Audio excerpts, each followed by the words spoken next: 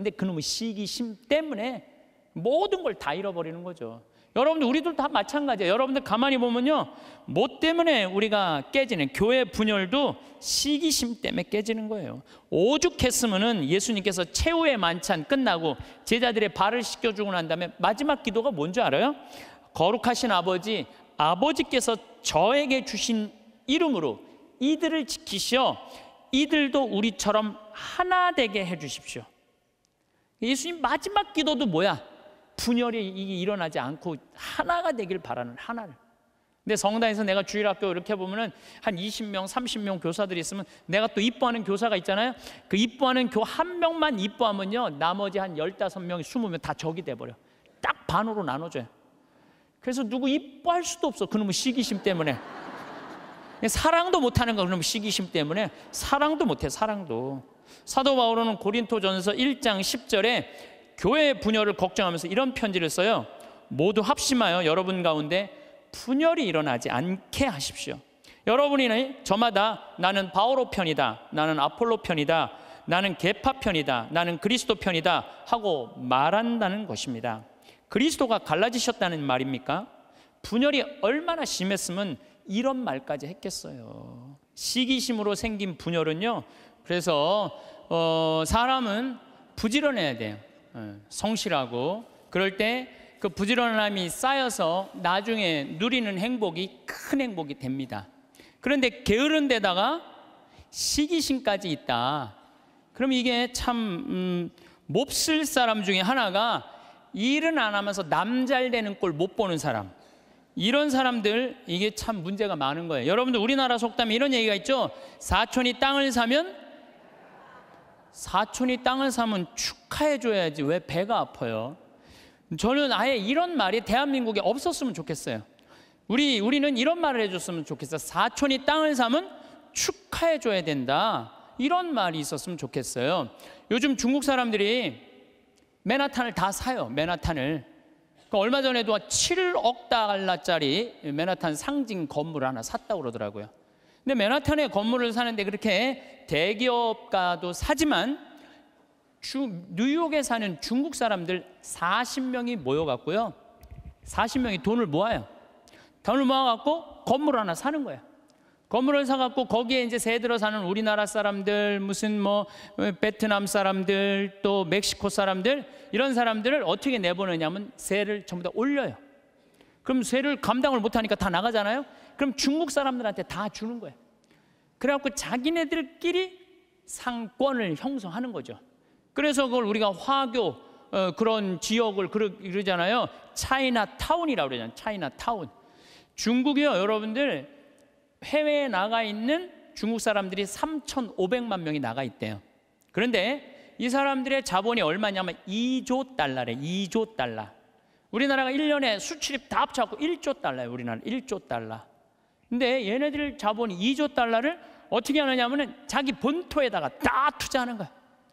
그러니까 나가 있는 중국 사람들이 본토에 투자하고 또 나가서 자기네들끼리 또 상권을 형성해 갖고 돈을 모아 갖고 건물을 사고 자기네들끼리 뭉쳐서 사는 거예요. 말레이시아의 인도네시아의 재정은 70% 말레이시아도 마찬가지고 중국 사람들이 모든 상권을 다 줘요. 근데 우리나라는 사촌이 땅을 사면 배가 아프다는 이 잘못된 이런 나쁜 이 우리들의 그뭐뭐 뭐 속담이라고 그럴 수도 없고 정말 이런 말은 없어야 돼요. 사촌이 땅을 사면 어떻게 해줘야 돼? 축하해줘야죠. 근데 우리는 남잘 되는 꼴을 못 봐. 누가 좀 조금만 뜨면은 그 사람 그냥 깎아내리가 바빠. 이래서는요, 이 세계 속에서요, 살아갈 수가 없어요. 개인으로도 불행하지만 국가적으로도 불행하다는 거예요. 중국 사람들보다 더 무서운 사람이 누구냐면 유대인이에요, 유대인. 유대인들은요, 얼마나 무시무시하냐면은 이 뭐 폴란드에서 사는 유대인, 러시아에서 사는 유대인들이 아 여기서는 도저히 못 살겠다, 미국으로 가야 되겠다. 미국에 딱 가면 공항에 딱 내리면은요 이민자 협회 회, 가 있어요. 갖고 그 사람을 아파트를 빌려주고 또 취직까지 다 시켜줘요. 그 사람이 일었을 때까지 잘해줘요. 우리나라는 공항에 딱 어리삐리하고 도착하면은 이거 그냥 그 갖고 싸들어온 돈 다 등쳐먹기 바빠. 이게 너무 큰 차이가 나는 거예요. 그러니까 지금 미국의 주요 백화점은 누가 다 쥐고 있냐면 유대인이 다 쥐고 있어요. 유대인이 다 쥐고 있는데 유대인들은 자기 백화점에 입점을 누구 먼저 제일 먼저 받느냐면 유대인 이 저기 뭐 유대인이 만드는 물건부터 제일 먼저 받아들여요. 그러니까 얘네들이 잘 살 수밖에 없죠. 그 유대인들이 그래갖고 돈을 모으잖아요. 그럼 자기 돈은 누구한테 맡기냐? 유대인 은행에 갖다 맡겨요. 유대인 은행에 갖다 맡겨요. 무슨 소송이 나오면 누구한테 맡겨? 유대인 변호사한테 맡겨요. 아프잖아요. 누구한테 가요? 유대인 의사한테 가요. 그러니까 이 유대인들은요, 어, 어느 정도냐면은 이 미국의 부의 한 50%를 유대인이 지고 있대요. 그 중에 미국 부자의 30%는 유다, 유대인이래요. 철저하게 민족끼리 돕는 거예요. 사촌이 땅을 사면 배가 아픈 게 아니라 사촌이 땅을 살 수 있도록 도와주는 거죠. 시기심이 없는 거죠. 시기심이. 우리 시기심이 너무 많아. 이, 이 출애굽기 22장 24절에서 25절을 보면 너희가 나의 백성에게 너희 곁에 사는 가난한 이에게 돈을 꾸어 주었으면 그에게 채권자처럼 행세하지도 안, 행세해서도 안 되고 이자를 물려서도 안 된다. 너희가 이웃의 겉옷을 담보로 잡았으면 해가 지기 전에 돌려주어야 한다. 이게 유대인들은요 민족끼리는 서로 책임진다. 이게 철저해요. 근데 우리나라 사람들은 제가 외국에 나가 보면요 다 개인적으로는 잘 살아요. 근데 다 같이 모여갖고 건물 샀다는 얘기는 한 번도 들어본 적이 없어. 예. 우리가 이게 안 되는 거예요. 개인적으로는 특출나지만은 이게 서로 축복해 주는 게 안 되는 거죠. 미국에 7대 영화사가 있는데 이 중에 6개가 유대인이에요. 6개가 파라마운트, MGM, 워너브라더스, 유니버설, 21세기 폭스 다 유대인 유대인이 만든 영화사예요. 할리우드의 모든 건 디즈니, 월트 디즈니만 미국 사람 거예요. 근데 이 월트 디즈니도 CEO가 20년 동안 유, 유대인이 하고 있어요. 그러니까 황금알을 낳는 건 다 유대인이 쥐고 있는 거야. 그러니까 얘네들이 영화에서 나오는 돈들, 배우도 유대인을 쓰고 무슨 시나리오 작가도 유대인을 쓰고 감독도 유대인이고 영화 배급사도 유대인이고 그러니까 다 같이 사는 거예요. 얘네들이 자기네들이 돈이 이렇게 생기잖아요. 그럼 이 돈을 또 미국에 있는 유대인들은 어디다 보내냐? 본토에 보내요. 이스라엘, 팔레스타인 이쪽으로 보내는 거예요. 그러니까 서로 협력해서 사는 거죠. 잘 나가는 사람 시기하면요 분열이 일어날 수밖에 없어요. 근데 성당에서도 하다못해 주일학교 하나를 운영해도요 이게 깨지는 경우가 시기심 때문에 깨져요. 시기심 때문에. 성당도 왜 깨져? 전 총회장단하고 후, 후임 총회장들하고 서로 시기심 때문에 성당도 깨지는 거예요. 시기심이 참 많아요.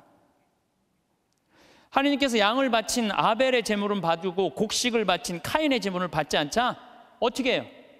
카인이 아벨을 죽이잖아요. 시기심 때문에 그러는 거예요. 시기심 때문에. 사무엘 이서의 이 상권의 18장 7절에 보면은 지금 PLO 이스라엘 맨날 테러하는 걸 PLO라고 그러잖아요. 이게 팔레스타인이야, 팔레스타인. 근데 옛날에도 2000년 전에도 3000년 전에도 이 성서에는 필리스타인이라고 써 있어. 필리스타인 있었어요. 얘네들이 맨날 유대인들하고 싸웠어요. 그 골리앗한테 맨날 그냥 지고. 근데 다윗이 나와 갖고 필리스타인, 팔레스타인들을 다 쳐 죽여요. 그래서 완전히 사울이 그냥 완전 왕권이 굉장히 강화가 돼요. 근데 다윗이 싹 들어오니까 이스라엘 처녀들이 속을 들고 춤을 추면서 이런 노래를 해요. 사울은 수천을 쳤고 다윗은 수만을 쳤네. 이 얘기를 듣고 사울이 살짝 미쳐요. 뭐가 생기냐면 시기심이 생기기 시작하는 거야. 그래서 다윗을 죽이려고 그래. 끊임없이 죽이려고 그래. 끊임없이 죽이려고 그러고 하다못해 딸 미가를 다윗한테 줘요. 사위야, 사위. 그런데도 죽이려고 그래요. 결국은 그 능력 있는 다윗은 사울 곁을 떠나요. 사울 곁을 떠나니까 사울이 훌륭한 장수를 잃어버렸잖아요. 훌륭한 장수를 이루는 필리스틴하고 싸우다가 마지막에 다 죽고 자기만 남아요. 어떻게 했겠어요? 스스로 자기 배 칼을 배를 칼로 자기 자살해 자살. 다윗을 그 능력 있는 다윗을 자기 옆에 왕으로 데리고 있었다면 시기심을 가지지 않고 데리고 있었다면 아마 사울은 이스라엘 처음으로 통일한 왕으로서의 그 대단한 명성을 누렸을 거야. 근데 그놈의 시기심 때문에 모든 걸 다 잃어버리는 거죠. 여러분들 우리들 다 마찬가지예요. 여러분들 가만히 보면요. 뭐 때문에 우리가 깨지는 교회 분열도 시기심 때문에 깨지는 거예요. 오죽했으면은 예수님께서 최후의 만찬 끝나고 제자들의 발을 씻겨 주고 난 다음에 마지막 기도가 뭔지 알아요? 거룩하신 아버지 아버지께서 저에게 주신 이름으로 이들을 지키시어 이들도 우리처럼 하나 되게 해 주십시오. 예수님 마지막 기도도 뭐야? 분열이 일어나지 않고 하나가 되길 바라는 하나를. 근데 성당에서 내가 주일학교 이렇게 보면은 한 20명, 30명 교사들이 있으면 내가 또 이뻐하는 교사가 있잖아요. 그 이뻐하는 교 한 명만 이뻐하면요. 나머지 한 15명, 20명 다 적이 돼버려. 딱 반으로 나눠줘요. 그래서 누구 이뻐할 수도 없어. 그놈의 시기심 때문에. 사랑도 못하는 거 그놈의 시기심 때문에 사랑도 못해 사랑도. 사도 바울은 고린토전서 1장 10절에 교회 분열을 걱정하면서 이런 편지를 써요. 모두 합심하여 여러분 가운데 분열이 일어나지 않게 하십시오. 여러분이 저마다 나는 바오로 편이다. 나는 아폴로 편이다. 나는 개파 편이다. 나는 그리스도 편이다. 하고 말한다는 것입니다. 그리스도가 갈라지셨다는 말입니까? 분열이 얼마나 심했으면 이런 말까지 했겠어요. 시기심으로 생긴 분열은요, 공동체를 망가뜨려요. 마음 안에 시기심이 있는 사람은요 평화로울 수가 없어요. 뭐 여러분들 잘 알겠지만 이 영화 아마데우스 아마데우스의 그 모차르트하고 살리에르라고 그랬잖아. 살리에르가 너무 모차르트를 시기해갖고 마지막에 모차르트 막 계속 힘들게 뭐 작곡 이때까지 해야 된다 그러면서 그냥 거기에 그냥 막 모차르트가 막 해갖고 모차르트도 빨리 죽지만 살리에르도 결국은 정신 분열로 정신병원에서 생을 마감을 해요. 그러니까 남을 축하해 주는 사람은요 복을 받는데요 남 안 되게 시기하는 사람은요 그만큼 고통을 겪는 거. 친구가 성공하거나 사회에 승진하면 축하해주는 넓은 아량이 있어야 돼. 남 시기한다고 내가 행복한 게 아니에요. 남 부러워한다고 내가 행복한 게 아니야. 나는요 달리기를 정말로 못해요. 정말로 초등학교 뛰면 꼴등이야. 막 쭉 뛰어도 꼴등이야. 얼마나 이놈들이 빠른지 난 정말로 달리기를 못했어요. 초등학교 때. 그리고 나는 참 그림을 못 그렸어요. 제가 이렇게 음, 뭐 옛날엔 그림의 필요성을 별로 몰랐는데 아 뭐 외국에 다니고 뭐 미술관에 다니다 보면 막 뭐 얘네들이 막 고흐 막 이런 애들이 그림 그리는 거 보면요 내 마음 안에서 막 예술혼이 막 불타요. 그래갖고 막 집에 와갖고 막 도자, 도화지도 사고 크레용도 사갖고 집에 와서 막 그림을 그려요. 동창 신부들 오면 내가 보여줘요. 이 그림 어떠냐? 그러면은 동창 신부들이 이구동성을 하는 얘기가 조카가 그린 거냐? 조카가 아, 난 내가 그린 건데. 한 일곱 살 정도 애가 드, 내 그림을 보고 안 웃는 사람이 한 명도 없었어요. 명작이지 보고 웃는 거 보면은 그런데 수준은 조카가 그린 그림이냐? 난 그림을 참 못 그려요. 또 나는 수학을 참 못해요. 중학교를 안 다녀서 그런지 전 중학교를 안 다니고 검정고시를 봤거든요. 수학을 못해요. 고등학교 올라가도 이해가 안 되더라고요. 지금 나는 그래서 지금 학교 다니면서 수업 시간에 자는 애들 다 느낌 아니까 걔네들 느낌 아니까 이해가 돼요. 왜냐하면 이해가 돼야지 수업 도저히 알아듣지를 못하니까. 난 수학을 정말로 못했어요. 수학을. 근데 내가 맨날 나는 왜 달리기를 못하지? 나는 왜 이렇게 키가 조그마지? 나는 왜 수학을 못하지? 나는 왜 그림을 못 그리지? 맨날 이런다면 난 불행한 사람일 거예요. 나는 그런 걸 못 가졌지만 난 뭐가 줘요? 목소리가 좋잖아요, 나는. 네, 목소리가 좋잖아요. 저는 제가 목소리 좋은 거 어렸을 때 어떻게 알았느냐면 애들이 막 발표할 땐 다 시끌시끌해요. 근데 내가 일어나고 발표하면 다 조용해요. 이게 귀가 확 들리나 봐요. 귀가. 그리고 제가 왜 목소리 좋은 줄 아느냐면은 사복을 입고 내가 음식점에 가고 음식을 시키면요.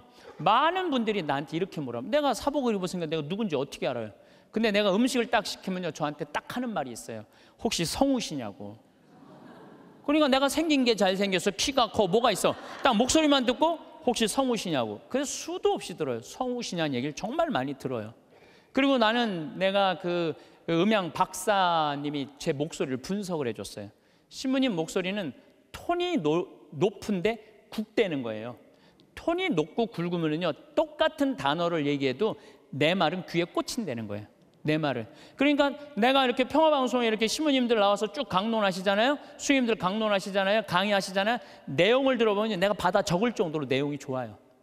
근데 그분들한테 단점이 뭐냐면은 예수님께서는 부활하셔갖고 3일 만에 오셔갖고 어, 성령을 보내셔갖고 승천을 뭐 하셔갖고 제자들이 뭐 그러니까 정말로 듣기 좋은 내용인데 톤이 거의 같고 목소리 톤이 낮기 때문에 집중이 안 되는 거예요. 근데 난 한마디라도 예수님께서 부활하셔갖고 어? 또 다시 오셔 승천하셔갖고 성령 그러니까 단어 하나하나가 똑같은 말인데도 목소리 때문에 제가 받는 이득이 너무너무 많아요. 그러니까 저는 중학교, 고등학교 때도 미사 해설하고 독서하고 뭐 신학교 때도 무슨 뭐 세미나 발표하고 이럴 때 제가 목소리 좋은 걸 저 자신도 알아요. 그래갖고 내가 서품 받을 때 난 다른 거 달리기 잘해달라고 나 기도한 적 없어요. 서품 받을 때 띠 잘 뛰게 해달라고 그런 적도 없어요. 나는 누워서 이 재단에 엎드려갖고 주님한테 딱 두 가지 부탁했어요. 강론 잘하게 해달라고. 또 하나는 글 잘 쓰게 해달라고. 신부가 나는 신부 중에 키 큰 신부 별로 소용 없다고 생각해요. 아니 복음 선포하는데 키가 무슨 상관이야? 네. 그리고 난 생긴 것도 그렇게 중요하다고 생각하지 않아요. 제가 그, 그 보좌 신부 때 굉장히 만 오천 명, 만 육천 명 본당에 보좌 신부를 했었어요. 그러면은 저 뒤에 있는 분들은 내 얼굴이 안 보여요. 그러니까 미사 참여 뒤에 하시는 분들은 끝까지 내 얼굴 몰라 1년 내내. 근데 그분들이요 10년 후 20년 후 와갖고 내 목소리 딱 들으면요 목소리가 생각이 안 되는 거예요 목소리만 좋으면 됐지 뭐 키 커서 뭐해 그렇지 않아요? 그러니까 나, 과연 내가 받은 게 뭘까? 내가 받은 게 뭘까? 여기 계신 분들 하느님께서 하나씩 다 주셨어요. 다 주셨어요. 어, 신부님 전 받은 게 정말 아무것도 없는 것 같은데요. 밥 자라는 것도 재능이에요. 밥 잘하는 것도. 나는 우리 주방장님 우리 생태마을의 주방장님 있는데 정말로 밥을 맛 음식을 맛있게 해요. 그러니까 그냥 최고의 주방장이 되는 거잖아요. 얼마나 청소 잘하는 것도 나는 재능이라고 생각해요 정리 정돈 잘하는 사람 우리 조카가 얼마 전에 여자 조카랑 밥을 먹는데 자기가 대학 다닐 때 고등학교 졸업하자마자 빌딩 청소한 사람이 있어 천억을 넘게 벌었대요 자기는 항상 정리하는 걸 너무너무 좋아했대요. 빌딩을 정리하고 나면 기분이 너무너무 좋다는 거예요.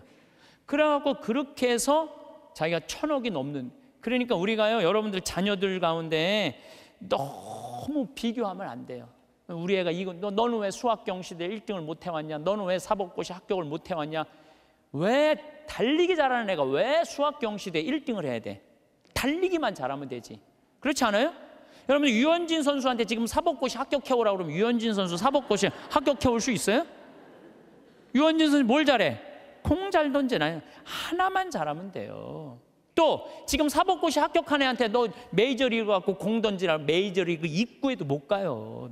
사람이요 다 그러니까 제가 생각하기는 지멋이 없어서 그래. 지 멋대로 살 줄 알아야 돼.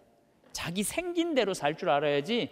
그리고 거기다가 남을 축복해 줄 수 있는 마음을 가지고 있는 사람들은요. 진짜 행복한 사람이에요. 진짜 행복한 사람. 그래서 저는 제가 뭐 키도 안 크고 힘도 안 세고 몸도 조그맣고 뭐 이래도요. 나는 내가 받은 게 뭔지 너무너무 잘 알아요. 난 내가 받은 게 목소리라는 생각. 정말 하나님한테 감사해. 난 어머니한테 정말 감사해요. 어머니 나 이렇게 조그맣게 놔줘서 목소리 좋게 놔주셔서 너무너무 감사하다고. 이 목소리 하나만 가지고도 뭐 기업체 강의 다니죠, 뭐 무슨 정부기관 강의 다니죠, 뭐 별군데 다 강의 다니. 하다 하다 아침마당에까지 와서 강의 다니. 아침마당에까지, 네, 아침마당에까지 생각을 해봐요. 이 목소리라는 게 내가 받은 하느님의 최고의 은혜라는 거죠. 저는 가끔 의사 선생님들이 주식 투자 하다가 쫄딱 망하고 마지막에 자살하는 분들 가끔 봐요. 의사가 되는 게 쉬운 일이에요. 정말로 어려운 일이에요. 그 공부하려면 얼마나 힘들어요. 그러면은 그렇게 7년, 6년 동안 뼈가 빠지게 의사 공부했으면 의사만 하면 되지. 주식 투자는 왜? 그렇지 않아요? 그러니까 자기가 잘할 수 있는 걸 계속 하는 게 제일 중요한 거예요. 그런데 이상한 데다가 방향을 돌리면은요, 망하는 거예요.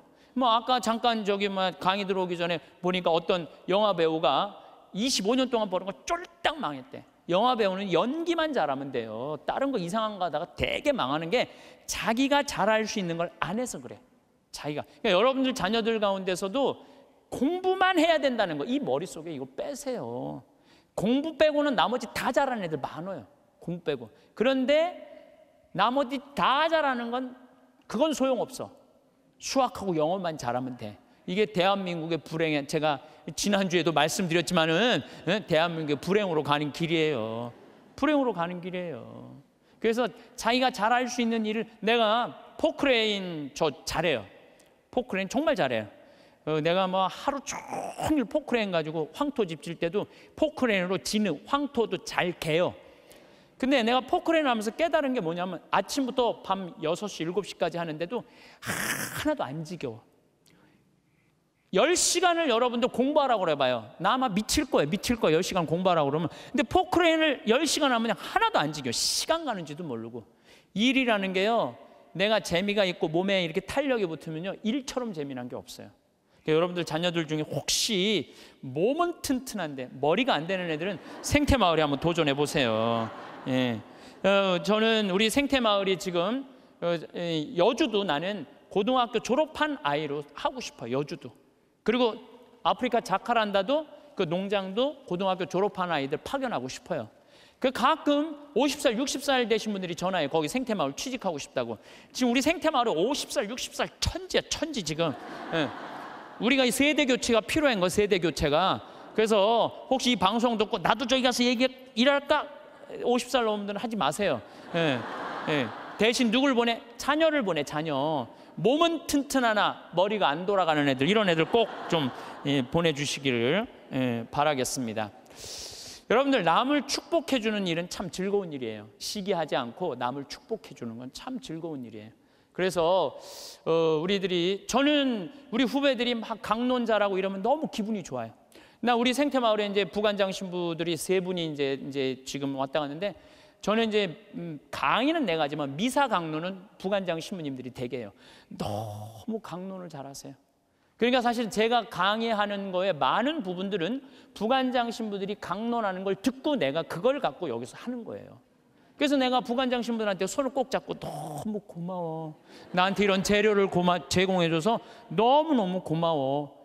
예, 참 이렇게 내 이렇게 후배 신부들이 강론자라는 거 보면 기분이 너무 좋아요. 그것도 막 사목 잘하면은 막 박수 쳐주고 싶고 그럼 내가 행복해요. 근데 어 저놈 새끼 봐라 나보다 강론을 잘하네 이때부터 불행해지는 거예요. 남을 내가 조금 능력이 모자라도 잘하는 사람을 이렇게 칭찬해 줄 때 나도 행복하고 너도 잘 살고 나도 잘 사는 거야. 중국 애들이 지금 본토는 뭐 하느님 안 믿어갖고 엉망이지만 나가 있는 중국 사람들은 대단하거든. 유대인은 말할 것도 없고 유대인들은 말할 것도 없고 나는 우리나라가요 사촌이 땅을 사면 축하해 줘, 줘 준다. 이, 이 아예 사촌이 땅을 사면 배가 아프다. 이 말 아예 없었으면 좋겠어. 오늘 이후부터 우리는 아예 사촌이 땅을 샀어? 그래. 축하해 주는 그런 문화가 난 이루어졌으면 참 좋을 것 같아요. 그런데 생각을 해봐요. 시기심이 게으른 놈이 시기심까지 있어. 게으른데 남 욕이나 하고 앉아 있어. 매력이 있을 것 같아 없을 것 같아요? 매력이 없어요. 부지런한데 남 칭찬까지 할 줄 알아. 이 사람 매력 있어요 없어요? 매력이 있어요. 매력이 있을 수밖에 없어요. 그런데 우리가 또 나쁜 건 판단하는 것. 어떤 판단? 부정적인 판단이요. 부정적인 판단. 예수님은 마태복음 7장 1절에 이런 말씀을 하세요. 남을 심판하지 마라. 그래야 너희도 심판받지 않는다. 이야, 내가 남을 심판하면은요, 하느님도 나를 심판을 해요. 내 나이가 남을 심판하지 않으면 하느님께서 나를 심판하지 않아요. 아주 쉬운 거잖아요. 근데 왜 우리가 남을 심판을 하냔 말이에요. 너는 어찌하여 형제의 눈 속에 있는 티는 보면서 내 눈 속에 있는 들보는 깨닫지 못하느냐. 저는 이게 평생의 내 숙제였어요. 남의 눈에 있는 티끌을 볼 것이냐, 내 눈에 있는 들보를 볼 것이냐. 여러분들은 남의 이 대한민국에 보면은요 남의 티끌은 기가 막히게 끄집어내 남의 티끌은. 근데 우리는 어떻게 자기 눈에는 들보는 안 보는 거야. 텔레비전을 보면은요 이 세상에 다 죽일 놈만 있는 것 같아. 죽일 놈만. 다 때려 죽일 놈만 대, 대한민국에 사는 것 같아. 그래요? 대한민국이 그렇게 막 때려 죽일 놈만 살아요? 저는요 얼마 전에 우리 그 내가 그 좋아하는 우리 경남이 최경남 신부가 또 해준 얘기예요. 자기가 조용필 그 저 콘서트를 갔다 왔대요. 감동 받았대요. 너무 너무 정말로 프로페셔널이 저거구나. 우리 신부들도 저런 마음으로 사목을 하면은 정말로 사목이 잘 될 거란 얘기를 하면서 나한테 기가 막힌 얘기를 해주더라고요. 조용필 씨가 1982년 비련이라는 못 찾겠다 깨꼬리라는 사집 이 사집을 냈는데 비련이라는 그 노래가 있대요.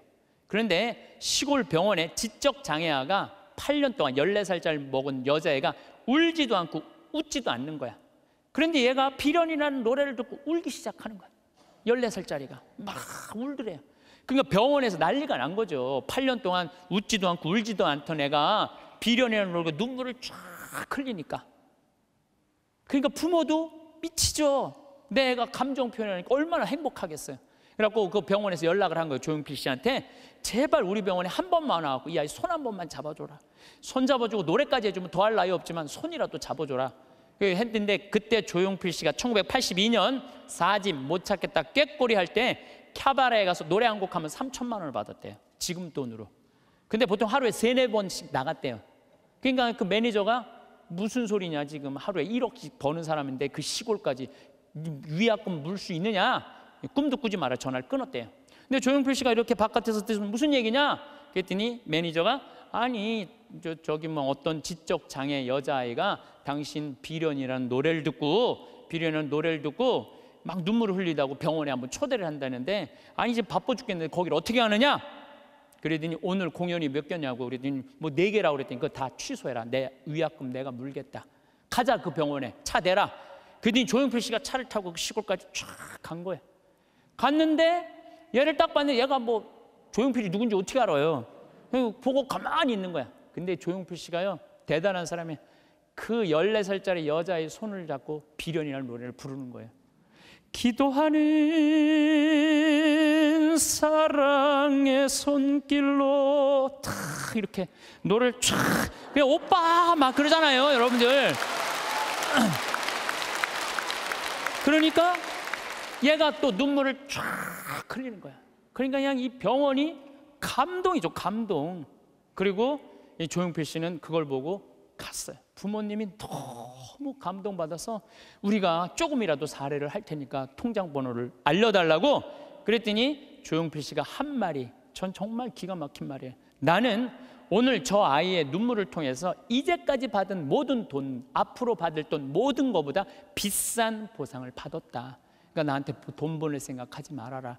탁 갔다는 거. 그게 1982년 얘기예요. 그래서 물론 내가 조용필 씨가 훌륭하다는 건 알았지만 그 다음에 내가 조용필 씨 뒷조사를 쫙 해봤어요. 어. 뒷조사를 해봤더니 자기 부인이 세상을 떠났을 때도 23억인가 4억이나 되는 돈을요 다 어려운 사람을 위해서 다 기증하고 그 다음에 소아 백혈병 걸린 아이 한 500명 수술비를 다 대주고 지금도 1년에 몇 억씩 어려운 아이들을 위해서 내놓는다는 거예요. 그러니까 우리가 이 세상을 보면서 다 나쁜 놈들만 있는 게 아니에요. 우리가 참 훌륭한 사람들이 많아요. 요즘 저는 김장호 씨, 독도 참 여러분들 이거 대단한 가수 하나가 대단한 일을 하는 거예요 지금 독도 뭐 100억 모은다 그러잖아요. 저도 이제 동참 꼭 하고 싶어요. 여러분들 일본 애들은요 자기네 나라에서 살고 싶지 않은 애들이에요. 2011년 3월 11일 후쿠시마 지진 일어났지. 원자력 발전소, 원자탄 폭탄 터진 거예요. 그것 때문에 지금도 방사능 때문에 고생하고 있죠.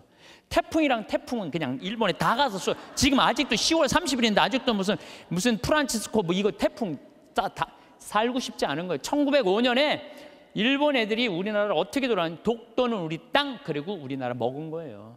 지금도 독도는 우리 땅이라고 자기네들 이번에 뭐 외교 홈페이지에 하잖아요. 한국 먹고 싶다는 거예요. 그러니까 대놓고 얘기하는 거 대놓고. 근데 정치인도 기업인도 못하는 가수 한 사람이 얼마나 대단해요. 이 세상은요, 나쁜 놈만 있는 게 아니에요. 정말로 멋있는 사람들이 많아. 근데 우리는 판단을 어떤 판단을 부정적인 판단하는 거예요. 그 부정적인 판단 때문에 잘못된 판단으로 이어지는 경우가 너무 많다는 거예요. 조조가 동탁을 죽이려고 그래요. 한 왕실을 자꾸 동탁이 쥐고 흔들으니까 그러니까 조조가 죽이려고 그러다가 들켜요 동탁한테. 왜냐하면 동탁이 무술이 너무 뛰어나거든요. 도망을 가기 시작해요. 진궁이랑 장수랑 막 도망을 가는데 동탁이 전국에다 방을 붙인 거예요. 조조 잡아오면 엄청난 벼슬과 상을 내리겠다고. 그러니까 조조는 마음 편안하게 쉬지를 못한 거죠. 산 속으로 굶으러 가면서 그냥 여기저기 피신을 하다가 아버지 조승 아버지 친구 여백사라는 집에 이제 숨어들기 시작해요. 근데 여백사가 이 조조를 너무 반갑게 맞아주는 거예요. 야, 너 그동안 고생했으니까 우리 집 와서 편안하게 쉬라고. 내가 방 따뜻하게 해줄 테니까 편안하게 쉬라고. 근데 우리 집에 음식을 준비할 테니까 근데 문제는 우리 집에 술이 없다. 내가 고을에 가고 술을 받아올 테니 너는 쉬고 있어라. 그리고 이제 여백사는 이제 고을로 술 받으러 나간 거예요. 근데 이 의심 많은 조조는 혹시 고을에 가서 나 고발하러 간 거 아닌가 의심하기 시작해요. 의심을 막 하는데 그러니까 이제 집을 염탐을 하는 거야. 근데 부엌 문이 이렇게 닫혀져 있는데 부엌에서 칼 가는 소리가 들리는 거야. 칼 가는 소리가. 근데 집안 식구들 이런 말을 하는 거예요. 큰 놈부터 잡을까, 작은 놈부터 잡을까. 아니 조전 조금하고 진공은 컸거든요. 이것들 봐라. 여백사는 나를 고발하러 가고 저것들은 나를 죽이려고 그러네. 그래갖고 문을 박차고 들어갔고 여백사의 식구, 부인, 자식 아홉 명을 다 죽여요. 칼로. 다 죽이고 혹시 어디 숨어 있는 거 없나 하고 뒷곁문을 딱 열었는데 뒷 곁에 돼지가 큰 거하고 조금 거 두 마리가 묶여져 있는 거야. 그러니까 이, 이 식구들은 큰 돼지를 먼저 잡을까 작은 돼지를 먼저 잡을까 이렇게 말한 건데 조조는 어떻게 들은 거예요? 큰 놈을 먼저 잡을까 짜 자기를 잡는 줄 알고 죽인 거죠. 자기의 잘못된 판단 때문에 그렇다는 거예요. 여러분들 우리가 정말 판단이 다 옳아요? 여러분들 그래갖고 조조가 막 도망을 가요. 도망을 가는데 술을 받아서 기분 좋게 오는 조승을 길에서 만나 저기 여백사를 만나요. 그 자리에서 죽여요 조조가. 왜? 한 번 잘못한 걸 덮기 위해서는 더 큰 거짓말을 하고 더 큰 잘못을 저지르는 거예요. 그래서 여기 계신 여러분들은 정말로 내 눈에 있는 뭘 봐야 돼? 들보를 볼 생각을 해. 남의 눈에 있는 티끌 꺼낼 생각하지 말고. 나는 이 성서 예수님이 참 예수님 말씀 말씀마다 정말 묵상하면 정말 깜짝깜짝 놀랄 말씀 정말 많아요. 이게 소크라테스가 너 자신을 알라 그 얘기하고 똑같잖아요. 그렇죠? 그 다음에 공자의 제자 증자가 성인 1일 3성 1일 성인 지도 1일 3성 오신 자기 일을 세 번 반성하라고 그러잖아요. 그러니까 우리가요 신앙인들은요 남 잘못 캐내는 사람이 아니에요. 신앙인들은 누구 잘못 캐내는 사람이야? 내 잘못 캐내는 사람이야. 내 잘못을 캐내갖고 나를 똑바로 세우는 게 신앙이냐. 근데 자기 자신이 어떤지도 모르고 남만 개, 특히 성당 다니면 활동하면은 자기 모습은 안 보이고 누구만 보여? 남만 보이잖아. 누구는 어쩌고 누구는 어쩌고 레디오 단장은 어떻고 꾸리아 단장은 어떻고 저건 어떻고 막 남욕만 디립다 하잖아요. 근데 남욕할 시간 있으면 누구 들여다봐? 자기 들여다. 이 부처님 제자 넷이서 장인들끼리 토론했어. 야 인생 살아가면서 제일 괴로운 게 뭐냐? 그랬더니 한 제자가 사랑이다 사랑. 얼마나 사랑 때문에 우리가 고통을 많이 겪어요. 우리가 이 세상을 살면서 남녀 문제 수도 없는 갈등의 원인이잖아요. 그랬더니 옆에 있던 제자가 아니다. 사랑보다 더 그런 건 배고픔이다. 그렇죠. 배고픔의 고통. 이거 정말 힘든 거죠. 오죽하면은 대학 교수가 그 돈 몇 푼 받아보겠다고 교수 자리까지 올라가기가 얼마나 힘들어. 그런데 부정 입학 그 몇백만 원 받아갖고 부정 입학하고 교수 자리 쩔러나가고 이게 배고픔의 고통 때문에 배고픔. 그냥 불 먹어도 먹어도 배고픈 게 이게 인간의 욕심이 인간의 욕심. 그랬더니 또 한 제자가 아니다. 그것보다 더 무서운 거 분노다. 분노. 화가 자기 화를 조절하지 못하는 거. 어, 이건 저도 동의해요. 사실 저도 인생 살다 보면은 내가 싸운 게 한순간 무너지는 게 뭐냐 분노 때문에 그래요. 분노. 그랬더니 또 한 제자가 아니다. 그거보다도 더 슬픈 건 죽음에 대한 공포다. 어 맞죠. 우리 인간이 모든 그랬더니 그게 다 됐더니 부처님이 하시는 말씀이 아니다. 그것보다 더 슬프고 고통스러운 거는 자기 자신이 누구인지 모른 채 살다가 죽는 거다. 내가 어디서 와갖고 어디로 가는지, 내가 뭘 하는지, 내가 어떻게 살면서 행복한지 아무것도 모르고 그냥 쫓는 게 뭔지도 모르고 그러고 살다가 죽는 게 저는 부처님 말씀에 저도 동의해요. 예수님 남의 눈에 있는 티끌 볼 생각하지 말고 자기 눈에 있는 들뽑을 생각을 해라고. 그래서 여러분들 항상 우리가 판단을 할 때 부정적인 판단을 할 거냐 긍정적인 판단을 할 거냐 이게 아주 중요해요. 근데 요즘 텔레비전을 보면은 여러분들 우리 우리나라 텔레비전 뉴스 보면 한심해 안 한심해요? 한심하죠? 정치인들 하, 정말로 내가 저 지난번에 생명을 살리는 말씀에도 얘기했지만 진짜 서로 말한 진짜 말한 지금까지도 한심해요. 뭐 조금만 뭐 정말로 한심해요. 그러니까 그냥 어떤 또 저기 국회의원은 이놈의 나라를 그냥 뒤집어 엎어갖고 북한한테 그냥 줘버려야 된다. 뭐 이렇게 말하는 사람들도 있고. 근데 여러분들 우리나라가 그렇게 한심한 나라일까요? 저는요 5천 년 역사상 우리나라가 5천 년 역사상 지금처럼 잘 먹고 잘 사는 적은 없어요. 5천 년 역사상 고려 시대 우리 원나라 조공 바쳤어요.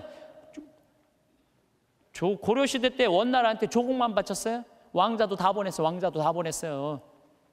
조선 시대는 명나라, 청나라 다 조공 바치고 다 왕자들 다 보내고 소현세자 뭐 이런 사람 다 거기 다가 있는 거 다. 그리고 그냥 청나라 끝나고 나니까 그 다음에 누구한테 나라 뺏겼어요? 일본한테 나라 뺏겼어요.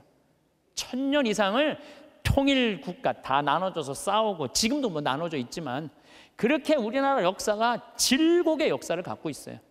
그런데 이 5천 년 역사상 지금처럼 우리나라가 강성했던 적은 없어요. 우리나라가 경제 규모가요 1조 달러야. 무역 규모가 세계 8위.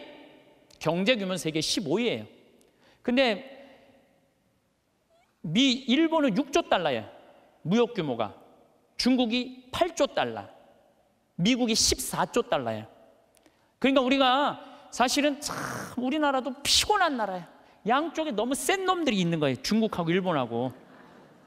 근데 중국하고 일본이 경제 규모가 일본이 6조 달러, 중국이 8조 달러, 우린 1조 달러밖에 안 돼. 근데 그 전에는 1조 달러도 안 됐어. 그러니까 그참 조공 바치고 살았던 거죠.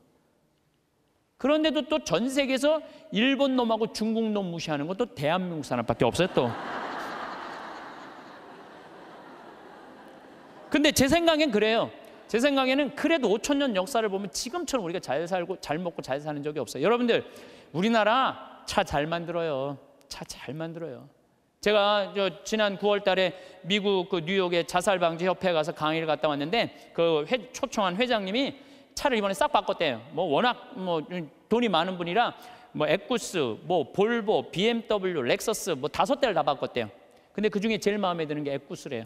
나한테 정말 그런 말을 하면서 한국이 차 브랜드가 떨어져서 그렇지 한국 차 잘 만든다고 그것도 40년 만에 남들은 100년, 120년 됐는데 40년 만에 이렇게 쫓아온 것에 대해서 자기는 에쿠스를 타고 다니면서 너무너무 자랑스럽다는 거예요. 그런데 대한민국 차를 누가 제일 무시하느냐? 대한민국 놈들이 제일 무시해요. 이게 부정적인 시각으로 바라보는 거 부정적. 텔레비전 잘 만들고 그렇잖아요. 또 핸드 휴대폰 잘 만들고 제가 이 휴대폰도 이 뭐 아이폰 막 나오고 난리 칠 때 제가 그랬어요. 앞으로 내가 우리나라 휴대폰을 봐서는 전 세계 시장 1위를 할 거다. 제가 4, 5년 전에 내가 방송 때도 얘기했어요. 지금 1위 하잖아요. 정말로 잘 만들어요. 에어컨 잘 만들고 냉장고 잘 만들고 그러면은 좀 긍정적으로 봐야 될 거 아니야. 긍정적으로. 근데 막 온 세상에 떠도는 얘기는 곧 망할 것 같은 얘기를 방황 망 아니 오죽하면 요즘 달러 떨어져 갖고 지금 주식을 뭐 40일인가 50일째 우리나라 주식만 산대잖아요. 우리나라만 우리를 무시하는 거예요.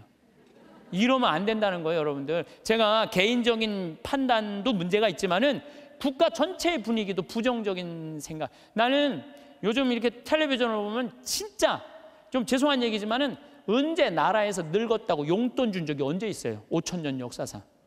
요즘 준대잖아, 요즘. 어? 아니 늙었다고 나라에서 용돈 준대잖아요. 65세 넘었다고 그러지 않아요? 근데 여러분들 이거 언제부터 줬어요? 10년 전부터 줬어요 용돈. 5만 4천 원, 5만 원 주기 시작하고 지금 9만 4천 원, 9만 5천 원이 지금 내년 7월 달부터는 20만 원 준다는 거예요. 물론 100%다 주면 좋지만 아 상위 30%는 안 주고 하위 70%는 준다는 거 20만 원. 여러분들 자식이 다달이 20만 원씩 줘요? 자식도 안 주는 용돈 준대잖아 나라가. 에? 그러니까 여러분들은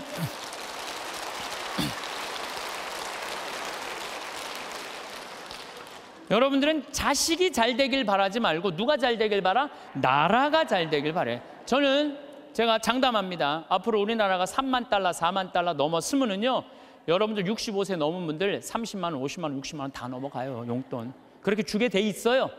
그러니까 여러분들은 우리나라가 긍정적인 마음으로 정말 나라가 융성할 수 있는 그런 마음으로 나라가 잘 되길 바라야 되는데 우리는 입만 열면 조금 있으면 망해야 된다고 조금 있으면 망해야 된다고 이렇게 말하면은요 아, 그래서 그게 개인적으로나 국가적이나 사회적이나 부정적인 눈으로 세상을 보면 안 돼요.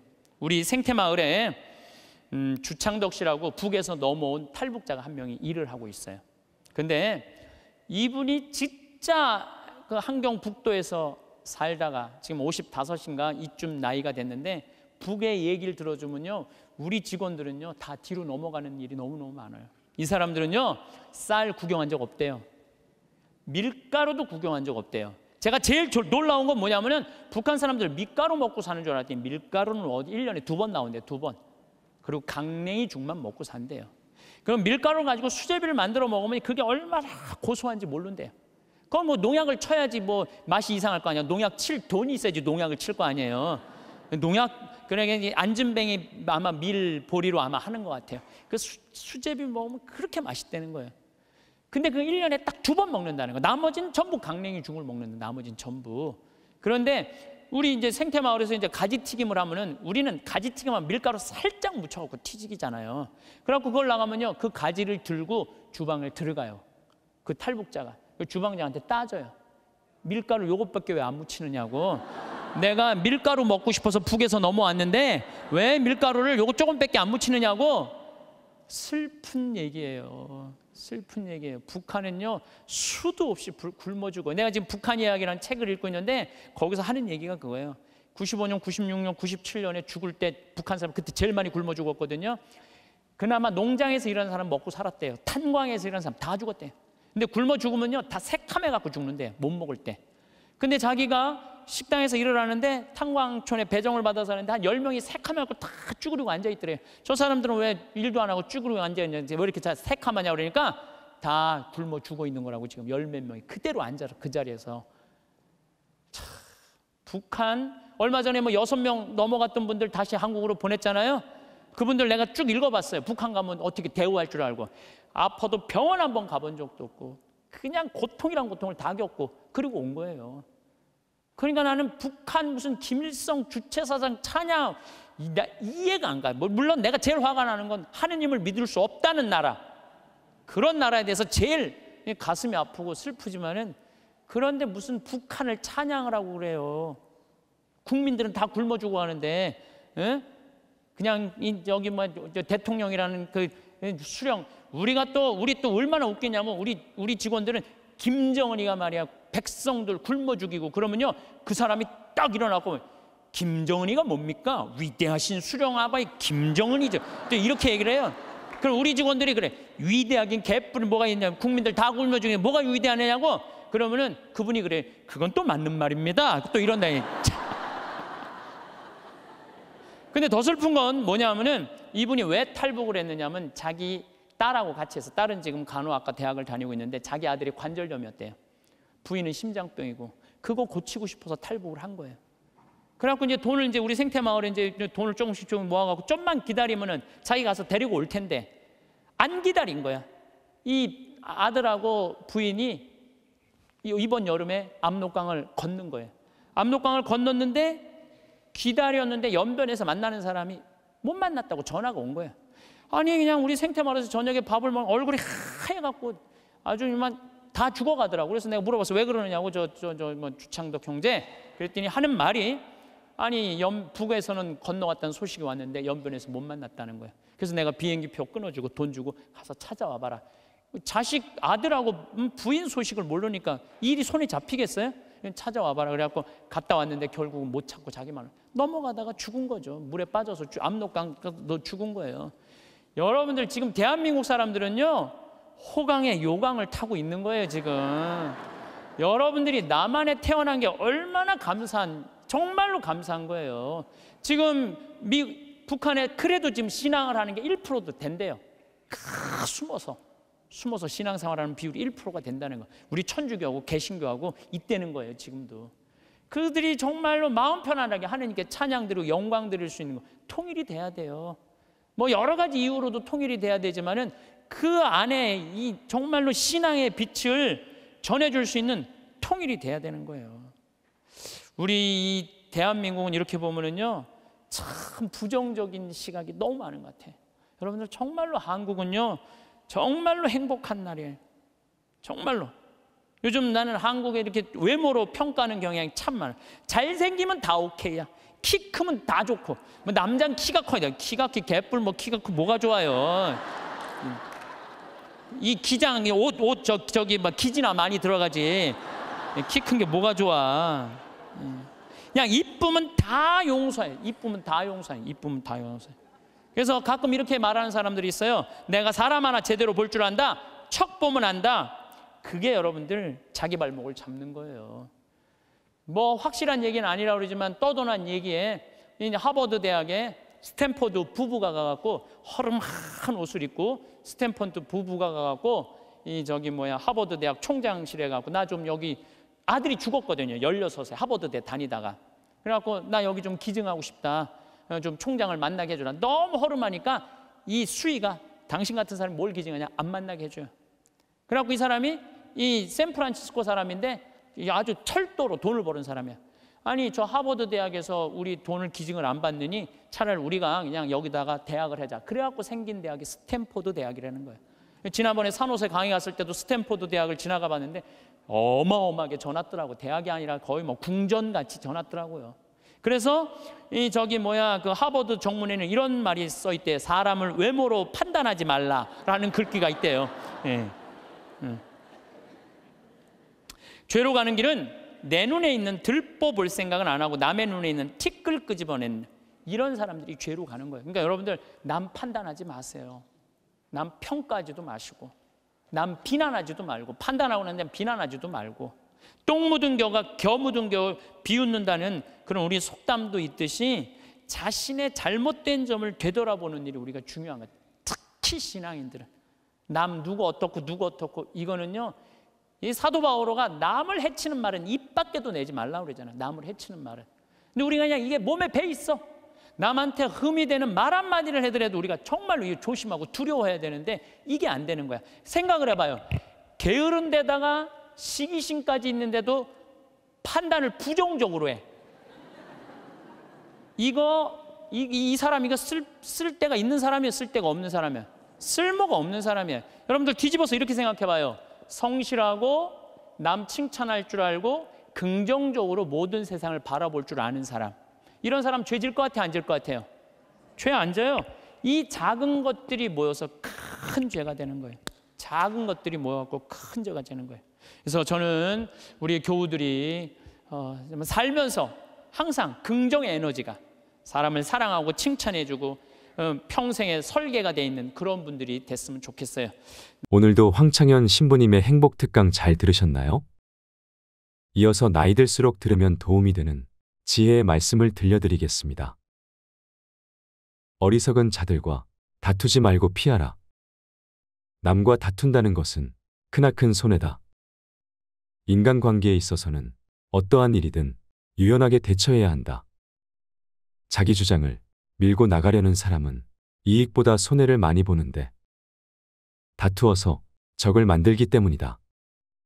아무리 머리가 좋고 재능이 있어도 인간관계가 좋지 않기에 실패하는 사람이 많다.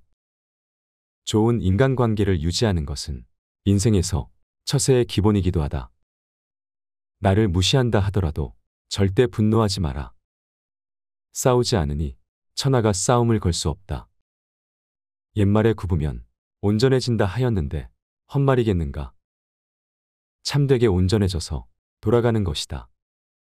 물속 깊이 있는 물고기와 하늘 높이 떠 있는 기러기는 아무리 높아도 활로 쏘고 아무리 깊어도 낚시로 낚을 수 있다.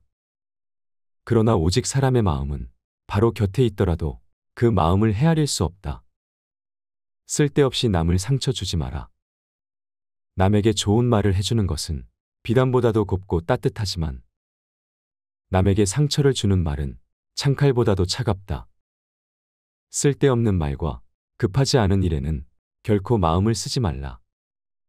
그 사람을 아는 가장 쉬운 방법은 그 사람의 주변에 어떤 사람이 있는지를 보는 것이다. 그 임금을 알고자 하면 먼저 그 신하를 보고 그 사람을 알고자 하면 그 벗을 보고 그 아버지를 알고자 하면 먼저 그 자식을 보고 임금이 거룩하면 그 신하가 충성스럽고 아버지가 인자하면 그 자식이 효성스럽다. 다른 사람의 착한 점을 보거든. 내게도 그런 착한 점이 있나 살펴보라. 다른 사람의 나쁜 점을 보면 내게도 그런 나쁜 점이 있는지를 살펴보라.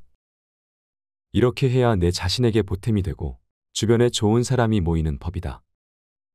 집안이 화목하고 친구들이 많다면 비록 가난할지라도 좋지만 주변에 사람이 없다면 부유한들 무엇하랴. 단지 한 자식이라도 효도하고 진정한 친구 한 명만 있다면 자손, 친구 많은 것이 무슨 소용이 있으랴. 남의 말로 사람을 판단하려거든 나의 눈으로 한 번 더 살펴보라. 직접 눈으로 본 일도 오히려 참인지 아닌지 염려스러운데 더구나 등 뒤에서 남이 말하는 것이야. 어찌 이것을 깊이 믿을 수 있겠는가? 자신의 눈으로 보고 사람을 판단해야지. 남에게 전해 들은 대로 남을 재단해서는 안 된다. 만약 한쪽의 말만 듣는다면 친한 사이가 갑자기 떨어짐을 볼 것이다. 귀로 남의 그릇됨을 듣지 말아라. 눈으로 남의 단점을 보지 말아라. 입으로는 남의 허물을 말하지 말아라. 세상에서 가장 해로운 것은 경솔함이다. 경솔한 사람은 그가 아무리 사악하고 위험한 사람일지라도 어느 편에서든 이용당하기 쉽다. 화재가 나면 불을 피해 멀리 달아나듯이 경솔한 사람들로부터는 멀리 달아나라. 평생에 걸쳐 배워라.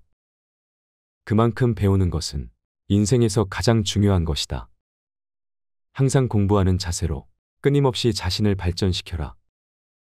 요즘 사람들은 대부분 학교에서만 배우고 점점 사회 속에 녹아들며 학구심을 잃어버린다. 배우지 않는 이들에게서는 더 이상의 발전을 기대할 수 없다. 반대로 학생 시절에는 부족했더라도 계속해서 꾸준히 배우고 노력한 사람들은 절대로 퇴보하지 않으며 시간이 지날수록 더욱 크게 성장하는 법이다. 지극히 성실해서 움직일 수 없는 것은 없으며 성실하지 않고서 움직일 수 있는 것은 없다. 험난한 인간관계 속에서 올바른 길로 다가오는 자와는 어울리고 잘못된 길로 다가오는 자는 피하도록 하라. 질 나쁜 것을 묻는 자에게는 대답하지 말 것이며 질 나쁜 것을 말하는 자에게는 묻지 말 것이며 다투려고 하는 자와는 더불어 논쟁하지 말라. 옛 성인을 본받으려고 힘쓰고 학문에 방해가 되는 것은 멀리하며 부단히 자신을 갈고 닦도록 힘써야 한다. 사람을 사귀며 있어서 경솔하지 않으면 인생에 막힘이 없을 것이다. 세상에 쓸모없는 사람은 없다. 사람뿐만이 아니라 이 세상에 쓸모없는 것은 단 하나도 없다. 좋은 나무가 먼저 죽는다. 저기 볼품없이 보이는 나무는 구부러지고 울퉁불퉁하기 때문에 오히려 목수들한테 잘리지도 않고 그토록 오래 살아 큰 나무가 됐다. 저 볼품없어 보이는 나무가 쓸모없어 보이지만 햇빛이 쨍쨍한 날 그 나무의 그늘에서 많은 사람들이 시원하게 편히 쉴 수 있고 비바람과 눈보라를 막아주며 저 보잘것없는 나무가 산을 보다 푸르게 해준다. 이처럼 쓸모 있음과 쓸모 없음의 기준은 그저 자신의 마음 안에 있다. 지금 가는 길이 바르다면 결코 조급해하지 마라. 인간은 사회 속에서 자신의 뜻을 펼치려고 하지만 지금 당장 쓰임 받는 게 무조건 좋은 것은 아니다. 오히려 때가 아닐 때 일찍 쓰임 받음으로써 하늘이 내린 재능을 다하지 못하고 자신의 인생을 낭비할 수도 있다는 것이다. 지금 당장 쓰여져 기뻐할 이도 많겠지만 지쳐 병에 걸려 죽는다면 아직 쓰이지 않은 것만 못하다.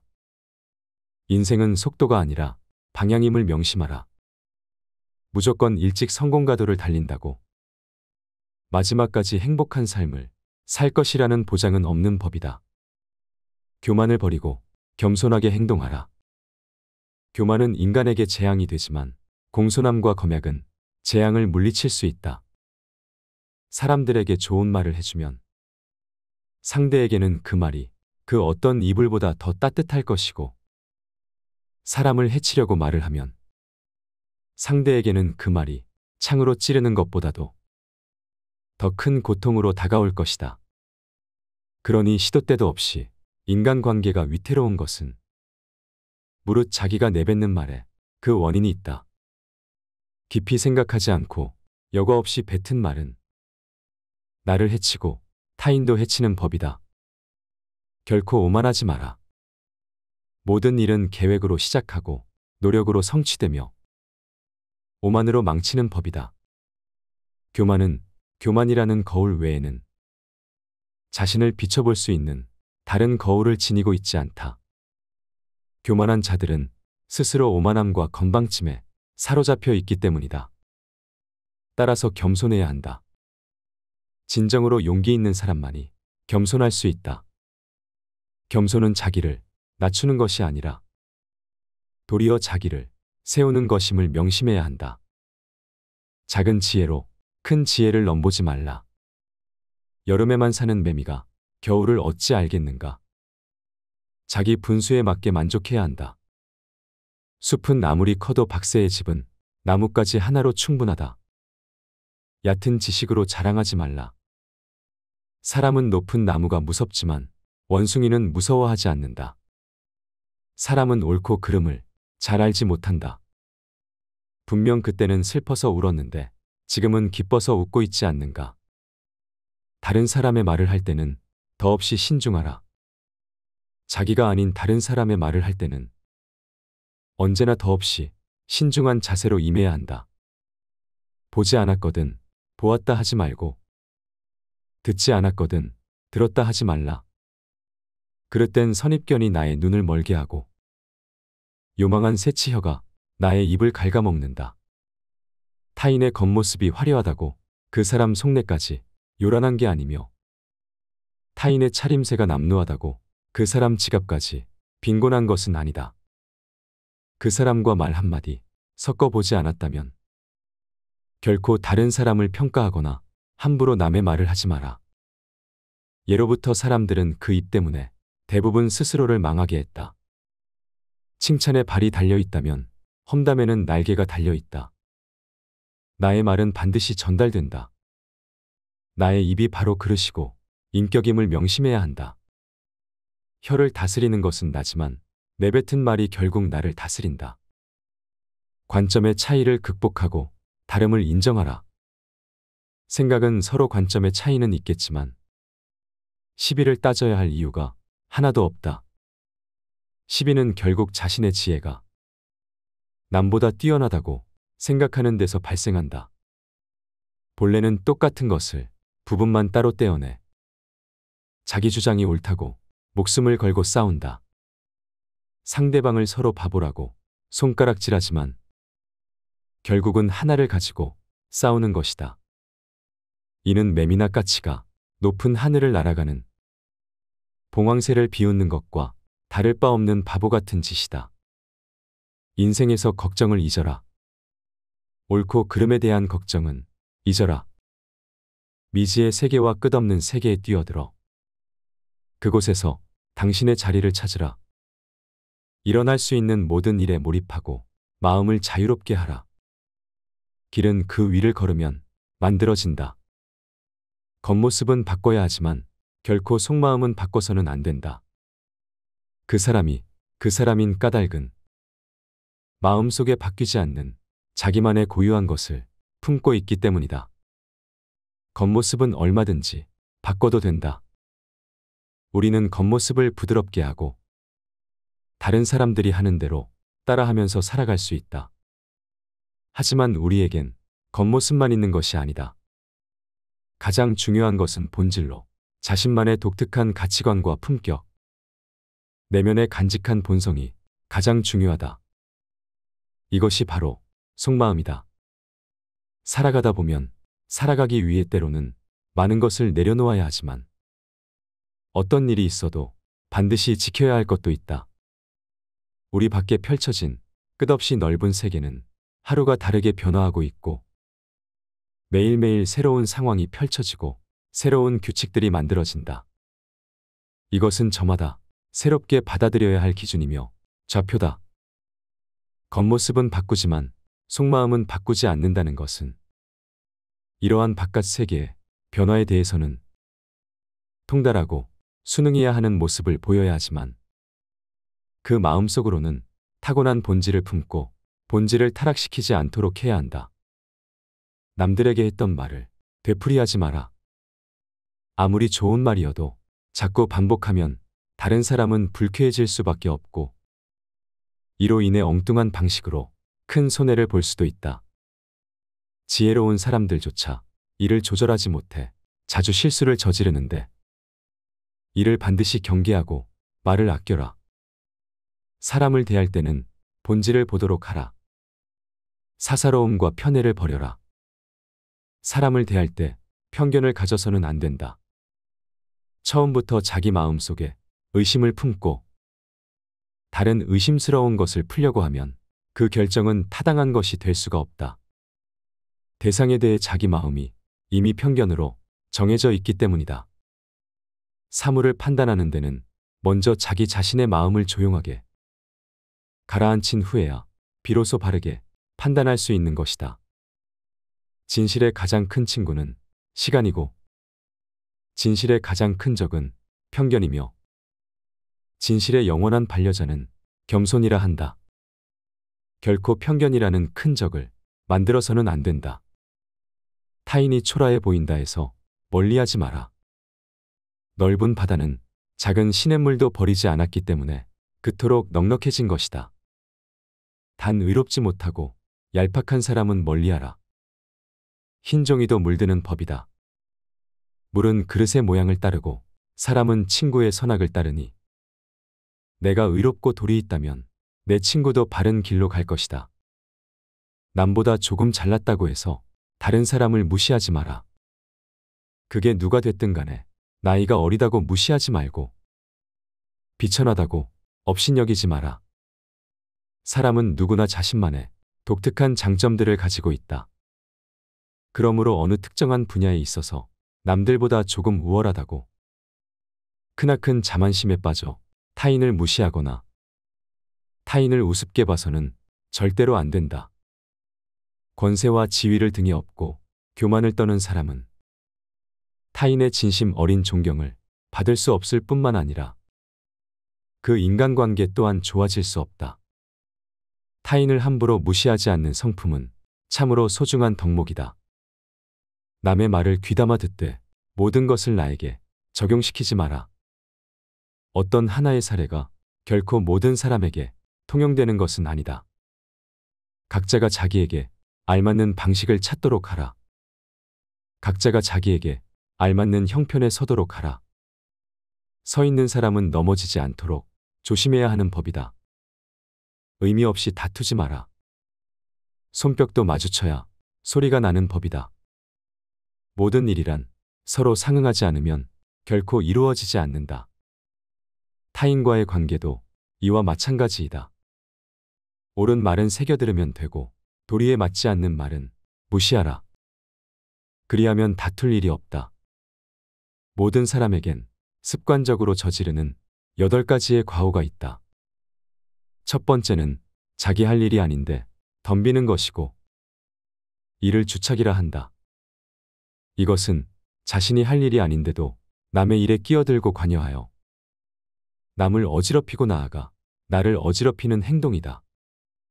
상대방이 나에게 부탁하지도 않았는데 끼어들어 내 의견을 말하는 것이니 주착은 가장 미움을 받기 쉬운 과오로 이를 경계해야 한다.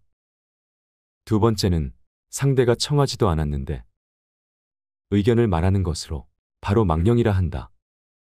상대방이 원치 않으면 끼어들지 말아야 한다. 끼어들고 나서 의견을 내는 것은 옳지 않다. 나의 의견을 강요하기 전에 상대방의 의견을 먼저 경청해야 함에도 불구하고 타인의 의견을 경시하고 나의 주장만 고집하는 망령은 섣부른 이기심에서 나온 허세로 아는 척하고 싶은 마음과 다를 바 없다. 세 번째는 남의 비위를 맞추려고 말하는 것을 아첨이라 한다. 이러한 사람들은 우선적으로 경계해야 한다. 다른 사람의 비위를 맞추기 위해서 그저 알랑거리는 자들은 어련히 목적이 있기 마련이다. 상대방에게 얻어낼 것이 있거나 계속 관계를 맺으면서 상대방에게 무언가를 빼낼 가능성을 노리고 있을 가능성이 높다. 아첨하는 자를 경계해야 하는 이유는 자신을 떠받들어주는 말은 듣기에 좋기 때문이다. 좋은 말은 듣기 싫고 나쁜 말은 듣기 좋다는 것을 명심해야 한다. 네 번째는 시비를 가리지 않고 마구 말을 하는 것으로 이것은 푼수라고 한다. 푼수란 옳고 그름의 시시비비를 가려 따져봐야 함에도 불구하고 마구 말하는 행동이다. 내가 능력이 있고 남들보다 조금 나은 지식을 갖고 있더라도 상대방의 의견을 경청하지 않으며 섣부르게 자기가 하고 싶은 대로 말하고 행동하는 건 상대방을 상처 입히고 나아가 나에게 해를 끼치는 행위이다. 다섯 번째로 남의 단점을 말하기 좋아하는 것을 참소라 한다. 상대방의 단점과 흠결에 대해 절대로 함부로 말해서는 안 된다. 이를 좋아하고 즐기는 사람들은 피하라. 이들은 자신의 결점을 가리고 장점을 돋보이기 위해 상대방의 부족함과 나약한 부분만을 과장하여 공격하고 비판하고 무시하는 것이 일상이다.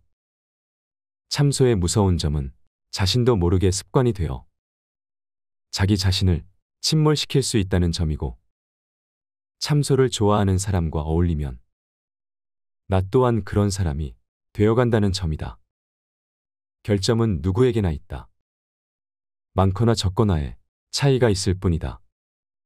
타인에 대한 관용이 없다면 우정뿐 아니라 상하관계나 동료관계도 더 이상 지속되지 못한다. 그러므로 항상 관용의 자세를 유지하라. 우리는 서로를 알아가는 법을 배워야 한다. 여섯 번째는 타인의 관계를 갈라놓는 것으로 이간질이라 한다. 이간질이라 함은 사이좋은 사람들이나 개인과 한 무리 사이의 관계를 틀어지게 만들기 위하여 한 사람의 개인적, 사회적 평판을 떨어뜨리는 행위를 말한다. 이간질은 타인을 해코지하는 것으로 비겁하고 도에 어긋나는 행동이다. 의외로 아무 생각 없이 이간질을 일상적으로 하는 사람들도 있다. 뒷담화를 일상적으로 하는 사람이 그 좋은 예다. 이런 사람들 대부분은 자기가 하는 일이 이간질이라는 자각도 없고 별로 죄책감도 없기 때문에 아예 처음부터 가까이 하지 않는 것이 낫다. 일곱 번째는 나쁜 짓을 칭찬하여 사람을 타락시킴을 간특하다 한다. 상대방이 나쁜 행동을 하고 죄를 짓고 있는데도 이를 괜찮다고 안심시키며 상대방이 천천히 타락해 가는 것을 지켜보는 것이 바로 간특이다. 이들은 단언컨대 악이다. 상대방의 잘못이나 실수를 보고 그가 망가지는 것을 즐기며 더욱 타락하도록 부추기는 사람은 겉과 속이 다르고 마치 뱀처럼 교활한 사람이다. 이런 부류의 사람은 도움이 될 게 없다. 인생에서 가장 경계해야 할 사람이니 이런 자가 있다면 거리를 멀리해라. 마지막 여덟 번째는 옳고 그름을 가리지 않고 비위를 맞춰 상대방의 속셈을 뽑아보려 하는 것을 즉 음흉하다고 한다. 이들은 겉으로는 부드러워 보이나 속으로는 무척이나 엉큼하고 흉악한 성정을 갖고 있다. 상대방의 비위를 맞춰 속셈을 알아내는 행동은 보기에는 별 대수롭지 않아 보인다. 하지만 이런 사람들은 비겁하고 언젠가 반드시 화가 될 사람들이다.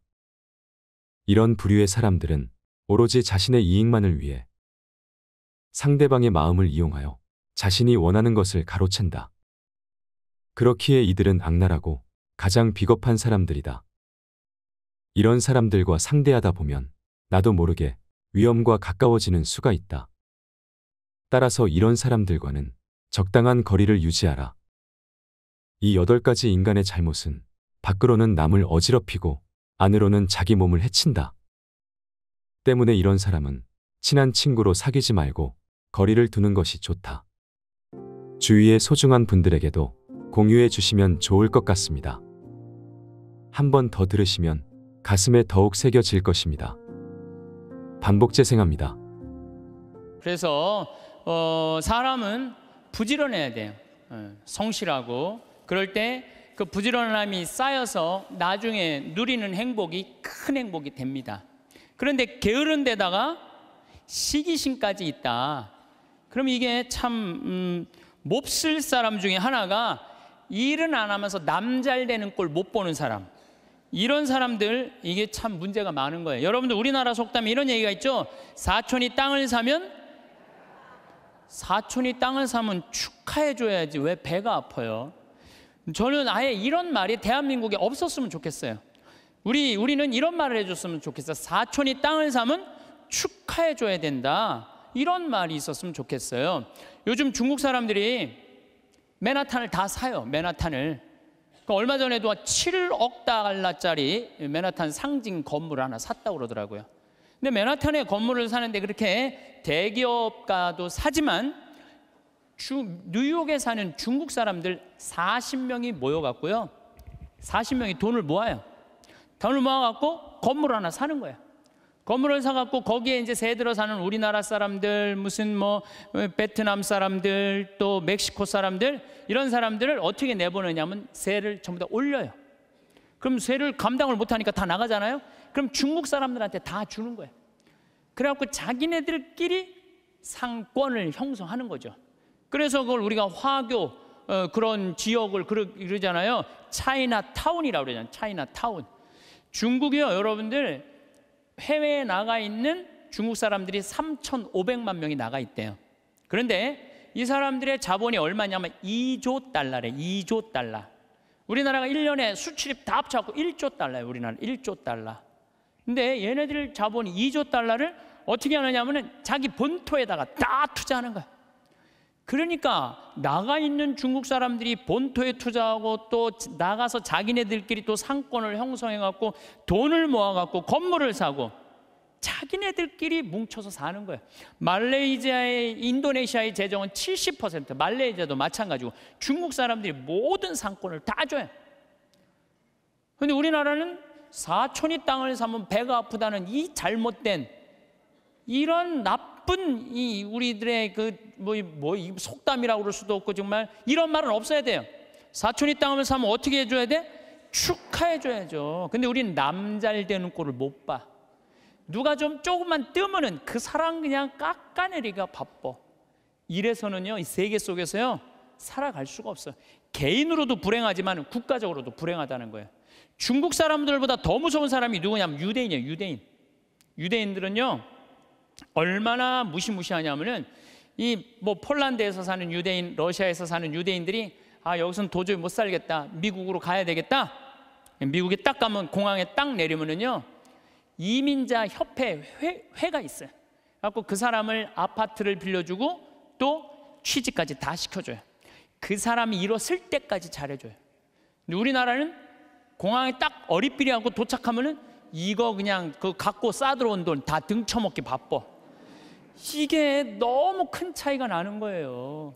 그러니까 지금 미국의 주요 백화점은 누가 다 쥐고 있냐면 유대인이 다 쥐고 있어요. 유대인이 다 쥐고 있는데 유대인들은 자기 백화점에 입점을 누구 먼저 제일 먼저 받느냐면 유대인 이 저기 뭐 유대인이 만드는 물건부터 제일 먼저 받아들여요. 그러니까 얘네들이 잘 살 수밖에 없죠. 그 유대인들이 그래갖고 돈을 모으잖아요. 그럼 자기 돈은 누구한테 맡기냐? 유대인 은행에 갖다 맡겨요. 유대인 은행에 갖다 맡겨요. 무슨 소송이 나면 누구한테 맡겨? 유대인 변호사한테 맡겨요. 아프잖아요. 누구한테 가요? 유대인 의사한테 가요. 그러니까 이 유대인들은요 어, 어느 정도냐면은 이 미국의 부의 한 50%를 유대인이 쥐고 있대요. 그 중에 미국 부자의 30%는 유다, 유대인이래요. 철저하게 민족끼리 돕는 거예요. 사촌이 땅을 사면 배가 아픈 게 아니라 사촌이 땅을 살 수 있도록 도와주는 거죠. 시기심이 없는 거죠. 시기심이. 우리 시기심이 너무 많아. 이, 이 출애굽기 22장 24절에서 25절을 보면 너희가 나의 백성에게 너희 곁에 사는 가난한 이에게 돈을 꾸어 주었으면 그에게 채권자처럼 행세하지도 안, 행세해서도 안 되고 이자를 물려서도 안 된다. 너희가 이웃의 겉옷을 담보로 잡았으면 해가 지기 전에 돌려주어야 한다. 이게 유대인들은요 민족끼리는 서로 책임진다. 이게 철저해요. 근데 우리나라 사람들은 제가 외국에 나가 보면요 다 개인적으로는 잘 살아요. 근데 다 같이 모여갖고 건물 샀다는 얘기는 한 번도 들어본 적이 없어. 예. 우리가 이게 안 되는 거예요. 개인적으로는 특출나지만은 이게 서로 축복해 주는 게 안 되는 거죠. 미국에 7대 영화사가 있는데 이 중에 6개가 유대인이에요. 6개가 파라마운트, MGM, 워너브라더스, 유니버설, 21세기 폭스 이 다 유대인 유대인이 만든 영화사예요. 할리우드의 모든 건 디즈니, 월트 디즈니만 미국 사람 거예요. 근데 이 월트 디즈니도 CEO가 20년 동안 유, 유대인이 하고 있어요. 그러니까 황금알을 낳는 건 다 유대인이 쥐고 있는 거야.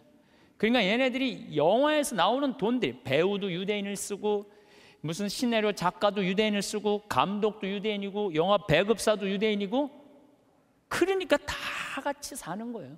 얘네들이 자기네들이 돈이 이렇게 생기잖아요.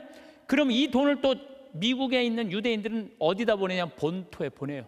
이스라엘, 팔레스타인 이쪽으로 보내는 거예요.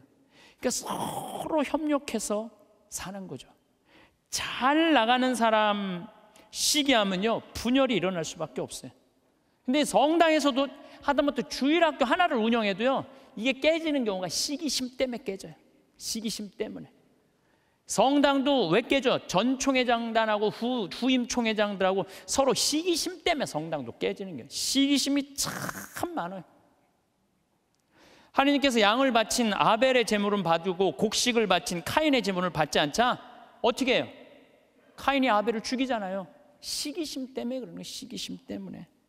사무엘 이서의 이, 이 상권의 10, 18장 7절에 보면은 지금 PLO 이, 이스라엘 맨날 테러하는 걸 PLO라고 그러잖아요. 이게 팔레스타인이에요. 팔레스타인. 근데 옛날에도 2000년 전에도 3000년 전에도 이 성서에는 필리스타인이라고 써 있어. 필리스타인 있었어요. 얘네들이 맨날 유대인들하고 싸웠어요. 그 골리앗한테 맨날 그냥 지구. 근데 다윗이 나와 갖고 필리스타인, 팔레스타인들을 다 쳐 죽여요. 그래서 완전히 사울이 그냥 완전 왕권이 굉장히 강화가 돼요. 근데 다윗이 싹 들어오니까 이스라엘 처녀들이 속을 들고 춤을 추면서 이런 노래를 해요. 사울은 수천을 쳤고 다윗은 수만을 쳤네. 이 얘기를 듣고 사울이 살짝 미쳐요. 뭐가 생기냐면 시기심이 생기기 시작하는 거야. 그래서 다윗을 죽이려고 그래. 끊임없이 죽이려고 그래. 끊임없이 죽이려고 그러고 하다못해 딸 미가를 다윗한테 줘요. 사위야, 사위. 그런데도 죽이려고 그래요. 결국은 그 능력 있는 다윗은 사울 곁을 떠나요. 사울 곁을 떠나니까 사울이 훌륭한 장수를 잃어버렸잖아요. 훌륭한 장수를 잃어버린 필리스틴하고 싸우다가 마지막에 다 죽고 자기만 남아요. 어떻게 했겠어요? 스스로 자기 배 칼을 배를 칼로 자기 자살해 자살. 다윗을 그 능력 있는 다윗을 자기 옆에 왕으로 데리고 있었다면 시기심을 가지지 않고 데리고 있었다면 아마 사울은 이스라엘 처음으로 통일한 왕으로서의 그 대단한 명성을 누렸을 거야. 근데 그놈의 시기심 때문에 모든 걸 다 잃어버리는 거죠. 여러분들 우리들 다 마찬가지예요. 여러분들 가만히 보면요. 뭐 때문에 우리가 깨지는 교회 분열도 시기심 때문에 깨지는 거예요. 오죽했으면은 예수님께서 최후의 만찬 끝나고 제자들의 발을 씻겨 주고 난 다음에 마지막 기도가 뭔지 알아요? 거룩하신 아버지 아버지께서 저에게 주신 이름으로 이들을 지키시어 이들도 우리처럼 하나 되게 해 주십시오. 예수님 마지막 기도도 뭐야? 분열이 일어나지 않고 하나가 되길 바라는 하나를. 근데 성당에서 내가 주일학교 이렇게 보면은 한 20명, 30명 교사들이 있으면 내가 또 이뻐하는 교사가 있잖아요. 그 이뻐하는 교 한 명만 이뻐하면요. 나머지 한 15명, 20명 다 적이 돼 버려. 딱 반으로 나눠줘요. 그래서 누구 이뻐할 수도 없어. 그놈의 시기심 때문에. 사랑도 못하는 거 그놈의 시기심 때문에 사랑도 못해 사랑도. 사도 바울은 고린토전서 1장 10절에 교회 분열을 걱정하면서 이런 편지를 써요. 모두 합심하여 여러분 가운데 분열이 일어나지 않게 하십시오. 여러분이 저마다 나는 바오로 편이다. 나는 아폴로 편이다. 나는 개파 편이다. 나는 그리스도 편이다. 하고 말한다는 것입니다. 그리스도가 갈라지셨다는 말입니까? 분열이 얼마나 심했으면 이런 말까지 했겠어요. 시기심으로 생긴 분열은요, 공동체를 망가뜨려요. 마음 안에 시기심이 있는 사람은요, 평화로울 수가 없어요. 뭐 여러분들 잘 알겠지만 이 영화 아마데우스, 아마데우스의 그 모차르트하고 살리에르라고 그랬잖아. 살리에르가 너무 모차르트를 시기해갖고 마지막에 모차르트 막 계속 힘들게 뭐 작곡 이때까지 해야 된다 그러면서 그냥 거기에 그냥 막 모차르트가 막 해갖고 모차르트도 빨리 죽지만 살리에르도 결국은 정신 분열로 정신병원에서 생을 마감을 해요. 그러니까 남을 축하해 주는 사람은요 복을 받는데요 남 안 되게 시기하는 사람은요 그만큼 고통을 겪는 거. 친구가 성공하거나 사회에 승진하면 축하해 주는 넓은 아량이 있어야 돼. 남 시기한다고 내가 행복한 게 아니에요. 남 부러워한다고 내가 행복한 게 아니에요. 나는요 달리기를 정말로 못해요. 정말로 초등학교 뛰면 꼴등이야. 막 쭉 뛰어도 꼴등이야. 얼마나 이놈들이 빠른지 난 정말로 달리기를 못했어요. 초등학교 때. 그리고 나는 참 그림을 못 그렸어요.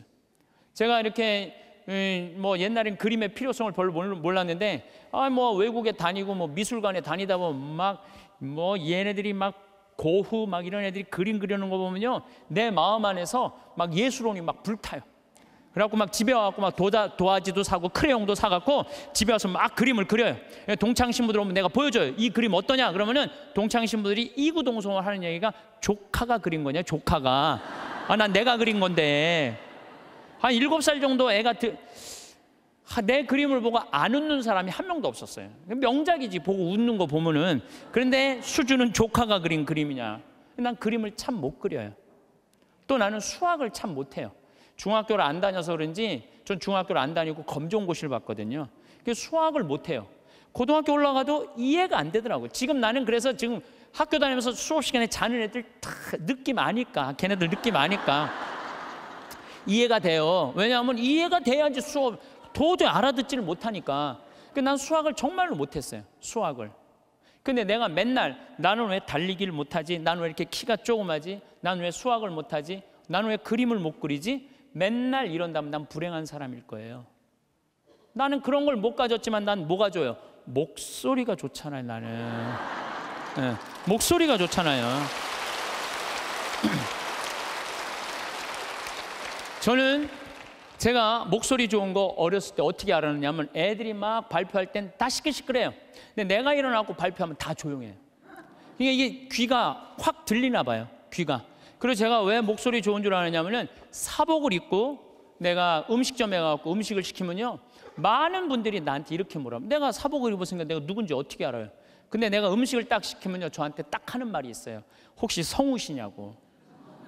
그러니까 내가 생긴 게 잘생겨서 키가 커 뭐가 있어 딱 목소리만 듣고 혹시 성우시냐고 그래서 수도 없이 들어요 성우시냐는 얘기를 정말 많이 들어요 그리고 나는 내가 그 음향 박사님이 제 목소리를 분석을 해줬어요 신부님 목소리는 톤이 노- 높은데 굵대는 거예요 톤이 높고 굵으면요 똑같은 단어를 얘기해도 내 말은 귀에 꽂힌다는 거예요 내 말을.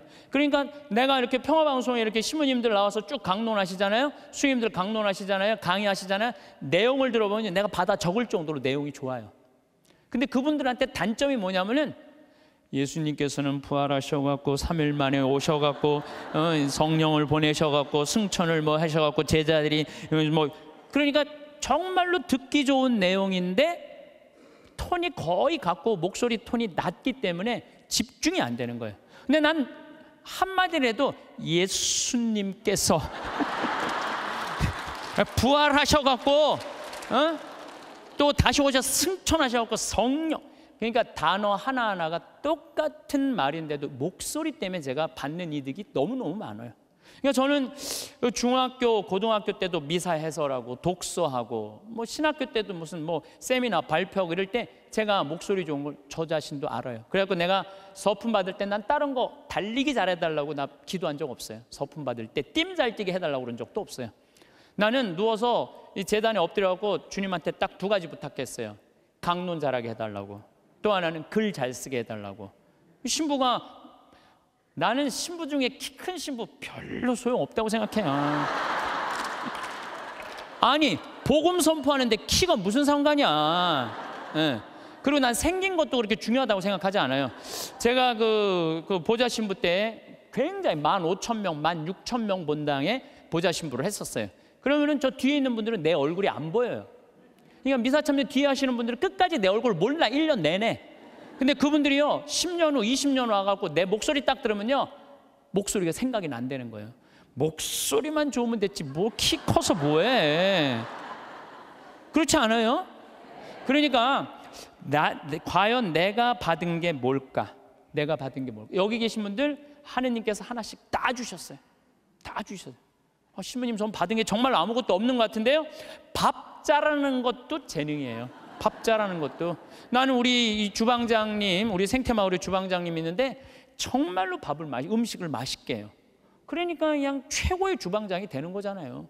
얼마나 청소 잘하는 것도 나는 재능이라고 생각해요. 정리 정돈 잘하는 사람. 우리 조카가 얼마 전에 여자 조카랑 밥을 먹는데 자기가 대학 다닐 때 청, 고등학교 졸업하자마자 빌딩 청소한 사람이 있어요. 천억을 넘게 벌었대요.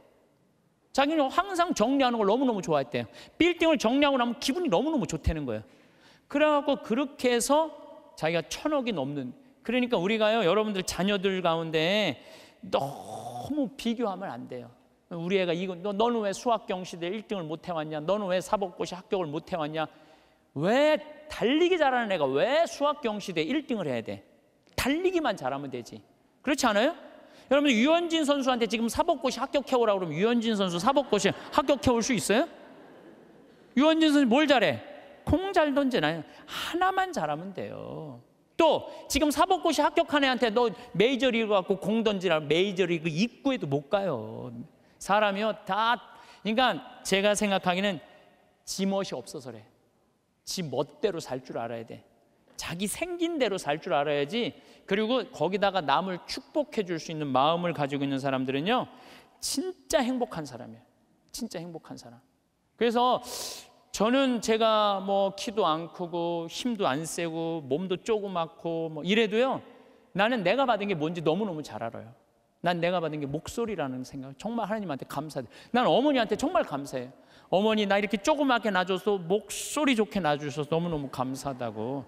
이 목소리 하나만 가지고도 뭐 기업체 강의 다니죠, 뭐 무슨 정부기관 강의 다니죠, 뭐 별 군데 다 강의 다니. 하다 하다 아침마당에까지 와서 강의 다니. 아침마당에까지, 네, 아침마당에까지 생각을 해봐요. 이 목소리라는 게 내가 받은 하느님의 최고의 은혜라는 거죠. 저는 가끔 의사 선생님들이 주식 투자하다가 쫄딱 망하고 마지막에 자살하는 분들 가끔 봐요. 의사가 되는 게 쉬운 일이에요. 정말로 어려운 일이에요. 그 공부하려면 얼마나 힘들어요. 그러면은 그렇게 7년, 6년 동안 뼈가 빠지게 의사 공부했으면 의사만 하면 되지. 주식 투자는 왜? 그렇지 않아요? 그러니까 자기가 잘할 수 있는 걸 계속 하는 게 제일 중요한 거예요. 그런데 이상한 데다가 방향을 돌리면은요, 망하는 거예요. 뭐 아까 잠깐 저기 뭐 강의 들어오기 전에 보니까 어떤 영화 배우가 25년 동안 버는 거 쫄딱 망했대. 영화 배우는 연기만 잘하면 돼요. 다른 거 이상한 거 하다가 되게 망하는 게 자기가 잘할 수 있는 걸 안 해서 그래. 자기가. 그러니까 여러분들 자녀들 가운데서도 공부만 해야 된다는 거, 이 머릿속에 이거 빼세요. 공부 빼고는 나머지 다 잘하는 애들 많아요. 공부 빼고. 그런데 나머지 다 잘하는 건 그건 소용없어. 수학하고 영어만 잘하면 돼. 이게 대한민국의 불행에 제가 지난주에도 말씀드렸지만은 예, 대한민국의 불행으로 가는 길이에요. 불행으로 가는 길이에요. 그래서 자기가 잘할 수 있는 일을 내가 포크레인 저 잘해요. 포크레인 정말 잘해요. 어, 내가 뭐 하루 종일 포크레인 가지고 황토집 질 때도 포크레인으로 지는 황토도 잘 개요. 근데 내가 포크레인 하면서 깨달은 게 뭐냐면 아침부터 밤 6시, 7시까지 하는데도 하나도 안 지겨워.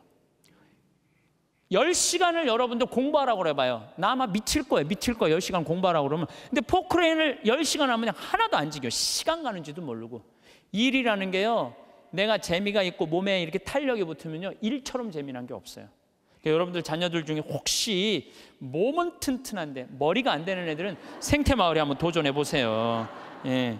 어, 저는 우리 생태 마을이 지금 어, 에, 여주도 나는 고등학교 졸업한 아이로 하고 싶어요. 여주도. 그리고 아프리카 자카란다도 그 농장도 고등학교 졸업한 아이들 파견하고 싶어요. 그 가끔 50살, 60살 되신 분들이 전화해 거기 생태마을 취직하고 싶다고. 지금 우리 생태마을에 50살, 60살 천지야 천지 지금. 예. 우리가 이 세대 교체가 필요한 거 세대 교체가. 그래서 혹시 이 방송 듣고 나도 저기 가서 얘기 일할까? 50살 넘으면 하지 마세요. 예. 예. 대신 누굴 보내? 자녀를 보내 자녀. 몸은 튼튼하나 머리가 안 돌아가는 애들 이런 애들 꼭좀 예, 보내주시기를 예, 바라겠습니다. 여러분들 남을 축복해 주는 일은 참 즐거운 일이에요. 시기하지 않고 남을 축복해 주는 건 참 즐거운 일이에요. 그래서 어, 우리들이 저는 우리 후배들이 막 강론자라고 이러면 너무 기분이 좋아요. 나 우리 생태 마을에 이제 부관장 신부들이 세 분이 이제 이제 지금 왔다 갔는데 저는 이제 음, 강의는 내가 하지만 미사 강론은 부관장 신부님들이 대개요. 너무 강론을 잘하세요. 그러니까 사실 제가 강의하는 거에 많은 부분들은 부관장 신부들이 강론하는 걸 듣고 내가 그걸 갖고 여기서 하는 거예요. 그래서 내가 부관장 신부들한테 손을 꼭 잡고 너무 고마워. 나한테 이런 재료를 고마, 제공해줘서 너무너무 고마워. 예, 참 이렇게 내 이렇게 후배 신부들이 강론자라는 거 보면 기분이 너무 좋아요. 그것도 막 사목 잘하면은 막 박수 쳐주고 싶고. 그럼 내가 행복해요.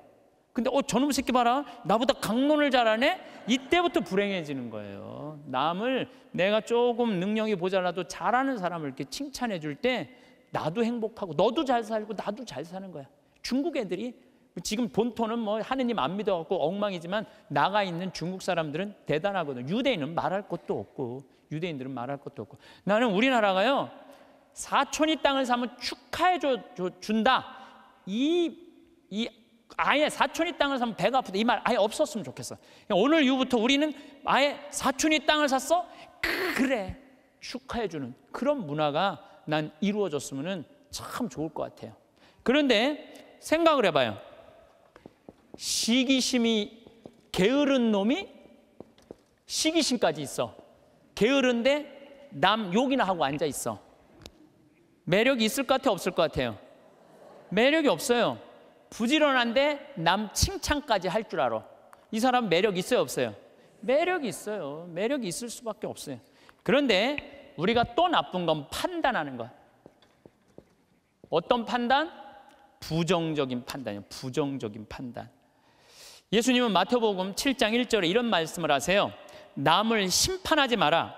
그래야 너희도 심판받지 않는다. 이야. 내가 남을 심판하면은요. 하느님도 나를 심판을 해요. 내 나이가 남을 심판하지 않으면 하느님께서 나를 심판하지 않아요. 아주 쉬운 거잖아요. 근데 왜 우리가 남을 심판을 하냔 말이에요. 너는 어찌하여 형제의 눈 속에 있는 티는 보면서 내 눈 속에 있는 들보는 깨닫지 못하느냐. 저는 이게 평생의 내 숙제였어요. 남의 눈에 있는 티끌을 볼 것이냐, 내 눈에 있는 들보를 볼 것이냐. 여러분들은 남의 이 대한민국에 보면은요 남의 티끌은 기가 막히게 끄집어내 남의 티끌은. 근데 우리는 어떻게? 자기 눈에는 들보는 안 보는 거야. 텔레비전을 보면은요 이 세상에 다 죽일 놈만 있는 것 같아 죽일 놈만. 다 때려 죽일 놈만 대, 대한민국에 사는 것 같아. 그래요? 대한민국이 그렇게 막 때려 죽일 놈만 살아요 저는요 얼마 전에 우리 그 내가 그 좋아하는 우리 경남이 최경남 신부가 또 해준 얘기예요 자기가 조용필 그 저 콘서트를 갔다 왔대요. 감동받았대요. 너무 너무 정말로 프로페셔널이 저거구나. 우리 신부들도 저런 마음으로 사목을 하면은 정말로 사목이 잘 될 거란 얘기를 하면서 나한테 기가 막힌 얘기를 해주더라고요. 조용필 씨가 1982년 비련이라는 못 찾겠다 깨꼬리라는 사집 이 사집을 냈는데 비련이라는 그 노래가 있대요. 그런데 시골 병원에 지적 장애아가 8년 동안 14살짜리 먹은 여자애가 울지도 않고 웃지도 않는 거야. 그런데 얘가 비련이라는 노래를 듣고 울기 시작하는 거야. 14살짜리가 막 울더래요. 그러니까 병원에서 난리가 난 거죠. 8년 동안 웃지도 않고 울지도 않던 애가 비련이라는 노래가 눈물을 쫙 흘리니까. 그러니까 부모도 미치죠. 내 애가 감정 표현하니까 얼마나 행복하겠어요. 그래갖고 그 병원에서 연락을 한 거예요. 조용필 씨한테 제발 우리 병원에 한 번만 와갖고 이 아이 손 한 번만 잡아줘라. 손 잡아주고 노래까지 해주면 더할 나위 없지만 손이라도 잡아줘라. 그 했는데 그때 조용필 씨가 1982년 4집 못 찾겠다 꾀꼬리 할 때 캬바레에 가서 노래 한 곡 하면 3천만 원을 받았대요. 지금 돈으로. 근데 보통 하루에 세네 번씩 나갔대요. 그러니까 그 매니저가 무슨 소리냐 지금 하루에 1억씩 버는 사람인데 그 시골까지 위약금 물 수 있느냐? 꿈도 꾸지 마라 전화를 끊었대요. 근데 조용필 씨가 이렇게 바깥에서 듣고는 무슨 얘기냐? 그랬더니 매니저가 아니 저, 저기 뭐 어떤 지적 장애 여자아이가 당신 비련이라는 노래를 듣고 비련이라는 노래를 듣고 막 눈물을 흘린다고 병원에 한번 초대를 한다는데 아니 이제 바빠 죽겠는데 거기를 어떻게 하느냐? 그랬더니 오늘 공연이 몇 개냐고 그랬더니 뭐 네 개라고 그랬더니 그거 다 취소해라. 내 위약금 내가 물겠다. 가자 그 병원에. 차 대라. 그랬더니 조용필 씨가 차를 타고 그 시골까지 쫙 간 거예요. 갔는데 얘를 딱 봤는데 얘가 뭐 조용필이 누군지 어떻게 알아요? 보고 가만히 있는 거야. 근데 조용필 씨가요 대단한 사람이 그 14살짜리 여자의 손을 잡고 비련이라는 노래를 부르는 거예요. 기도하는 사랑의 손길로 탁 이렇게 노래를 쫙 그냥 오빠 막 그러잖아요 여러분들.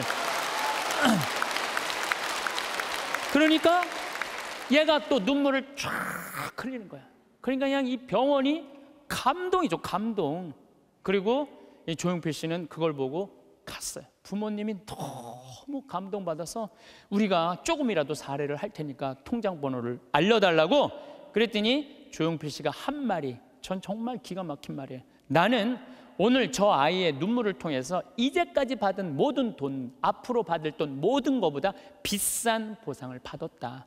그러니까 나한테 돈 보낼 생각하지 말아라. 탁 갔다는 거. 그게 1982년 얘기예요. 그래서 물론 내가 조용필 씨가 훌륭하다는 건 알았지만 그 다음에 내가 조용필 씨 뒷조사를 쫙 해봤어요. 어. 뒷조사를 해봤더니 자기 부인이 세상을 떠났을 때도 23억인가 4억이나 되는 돈을요 다 어려운 사람을 위해서 다 기증하고 그 다음에 소아 백혈병 걸린 아이 한 500명 수술비를 다 대주고 지금도 1년에 몇 억씩 어려운 아이들을 위해서 내놓는다는 거예요. 그러니까 우리가 이 세상을 보면서 다 나쁜 놈들만 있는 게 아니에요. 우리가 참 훌륭한 사람들이 많아요. 요즘 저는 김장호 씨, 독도 참 여러분들 이거 대단한 가수 하나가 대단한 일을 하는 거예요 지금. 독도 뭐 100억 모은다 그러잖아요. 저도 이제 동참 꼭 하고 싶어요. 여러분들 일본 애들은요 자기네 나라에서 살고 싶지 않은 애들이에요. 2011년 3월 11일 후쿠시마 지진이 일어났지. 원자력 발전소, 원자탄 폭탄 터진 거예요. 그것 때문에 지금도 방사능 때문에 고생하고 있죠. 태풍이랑 태풍은 그냥 일본에 다 가서 쏘. 지금 아직도 10월 30일인데 아직도 무슨 무슨 프란치스코 뭐 이거 태풍 다, 다 살고 싶지 않은 거예요. 1905년에 일본 애들이 우리나라를 어떻게 돌아왔는 독도는 우리 땅 그리고 우리나라 먹은 거예요. 지금도 독도는 우리 땅이라고 자기네들 이번에 뭐 외교 홈페이지에 하잖아요. 한국 먹고 싶다는 거예요. 그러니까 대놓고 얘기하는 거 대놓고.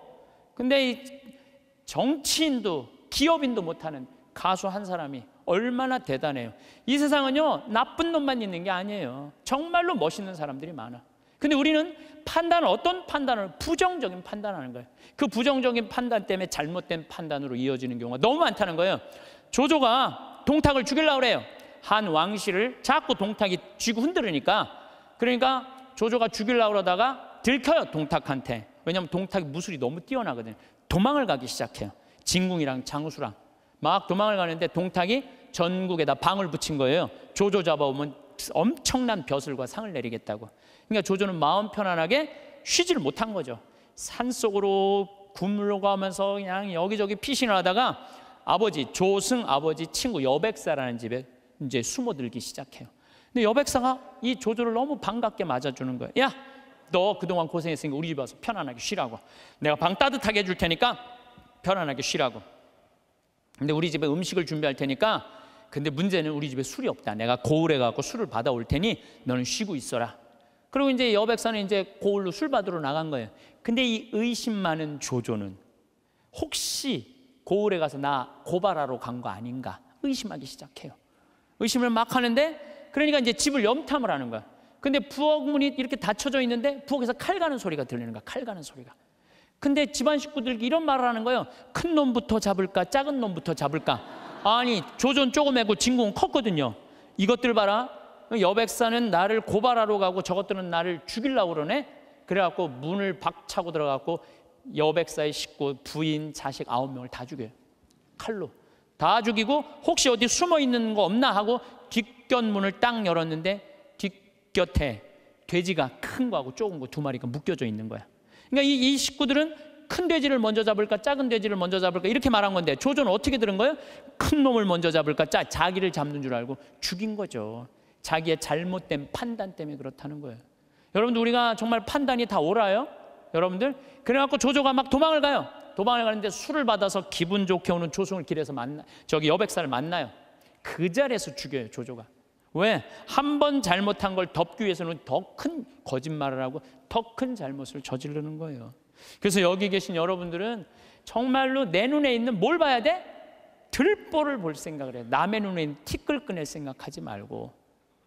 나는 이 성서 예수님이 참 예수님 말씀 말씀마다 정말 묵상하면 정말 깜짝깜짝 놀랄 말씀 정말 많아요. 이게 소크라테스가 너 자신을 알라 그 얘기하고 똑같잖아요. 그렇죠? 그 다음에 이 공자의 제자 증자가 성인 1일 3성, 1일 성인 지도 1일 3성, 오신 자기 일을 세 번 반성하라고 그러잖아요. 그러니까 우리가요, 신앙인들은요, 남 잘못 캐내는 사람이 아니에요. 신앙인들은 누구 잘못 캐내는 사람이야? 내 잘못 캐내는 사람이야. 내 잘못을 캐내갖고 나를 똑바로 세우는 게 신앙이냐. 근데 자기 자신이 어떤지도 모르고 남만 개, 특히 성당 다니면 활동하면은 자기 모습은 안 보이고 누구만 보여? 남만 보이잖아. 누구는 어쩌고 누구는 어쩌고 레디오 단장은 어떻고 꾸리아 단장은 어떻고 저건 어떻고 막 남욕만 디립다 하잖아요. 근데 남욕할 시간 있으면 누구 들여다봐? 자기 들여다. 이 음, 부처님 제자 넷이서 장인들끼리 토론했어. 야 인생 살아가면서 제일 괴로운 게 뭐냐? 그랬더니 한 제자가 사- 사랑이다 사랑. 얼마나 사랑 때문에 우리가 고통을 많이 겪어요. 우리가 이 세상을 살면서 남녀 문제 수도 없는 갈등의 원인이잖아요. 그랬더니 옆에 있던 제자가 아니다. 사랑보다 더 그런 건 배고픔이다. 그렇죠. 배고픔의 고통. 이거 정말 힘든 거죠. 오죽하면은 대학 교수가 그 돈 몇 푼 받아보겠다고 교수 자리까지 올라가기가 얼마나 힘들어. 그런데 부정 입학 그 몇백만 원 받아갖고 부정 입학하고 그 교수 자리 쩔려나가고 이게 배고픔의 고통 때문에 배고픔. 그냥 불 먹어도 먹어도 배고픈 게 이게 인간의 욕심이 인간의 욕심. 그랬더니 또 한 제자가 아니다 그것보다 더 무서운 거 분노다 분노. 화가 자기 화를 조절하지 못하는 거. 어, 이건 저도 동의해요. 사실 저도 이- 인생 살다 보면은 내가 싸운 게 한순간 무너지는 게 뭐냐 분노 때문에 그래요 분노.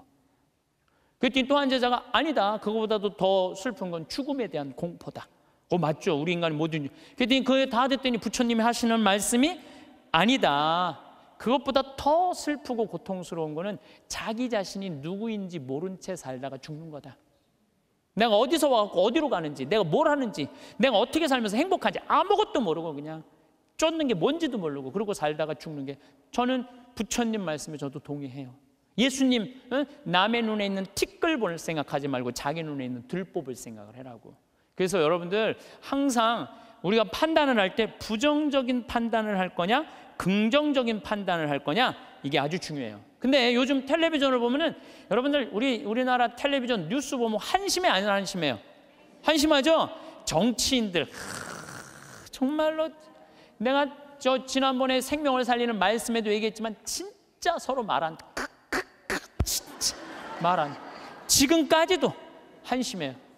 뭐 조금만 뭐 정말로 한심해요. 그러니까 그냥 어떤 또 저기 국회의원은 이놈의 나라를 그냥 뒤집어 엎어갖고 북한한테 그냥 줘버려야 된다. 뭐 이렇게 말하는 사람들도 있고. 근데 여러분들 우리나라가 그렇게 한심한 나라일까요? 저는요 5천 년 역사상 우리나라가 5천 년 역사상 지금처럼 잘 먹고 잘 사는 적은 없어요. 5천 년 역사상 고려 시대 우리 원나라 조공 바쳤어요.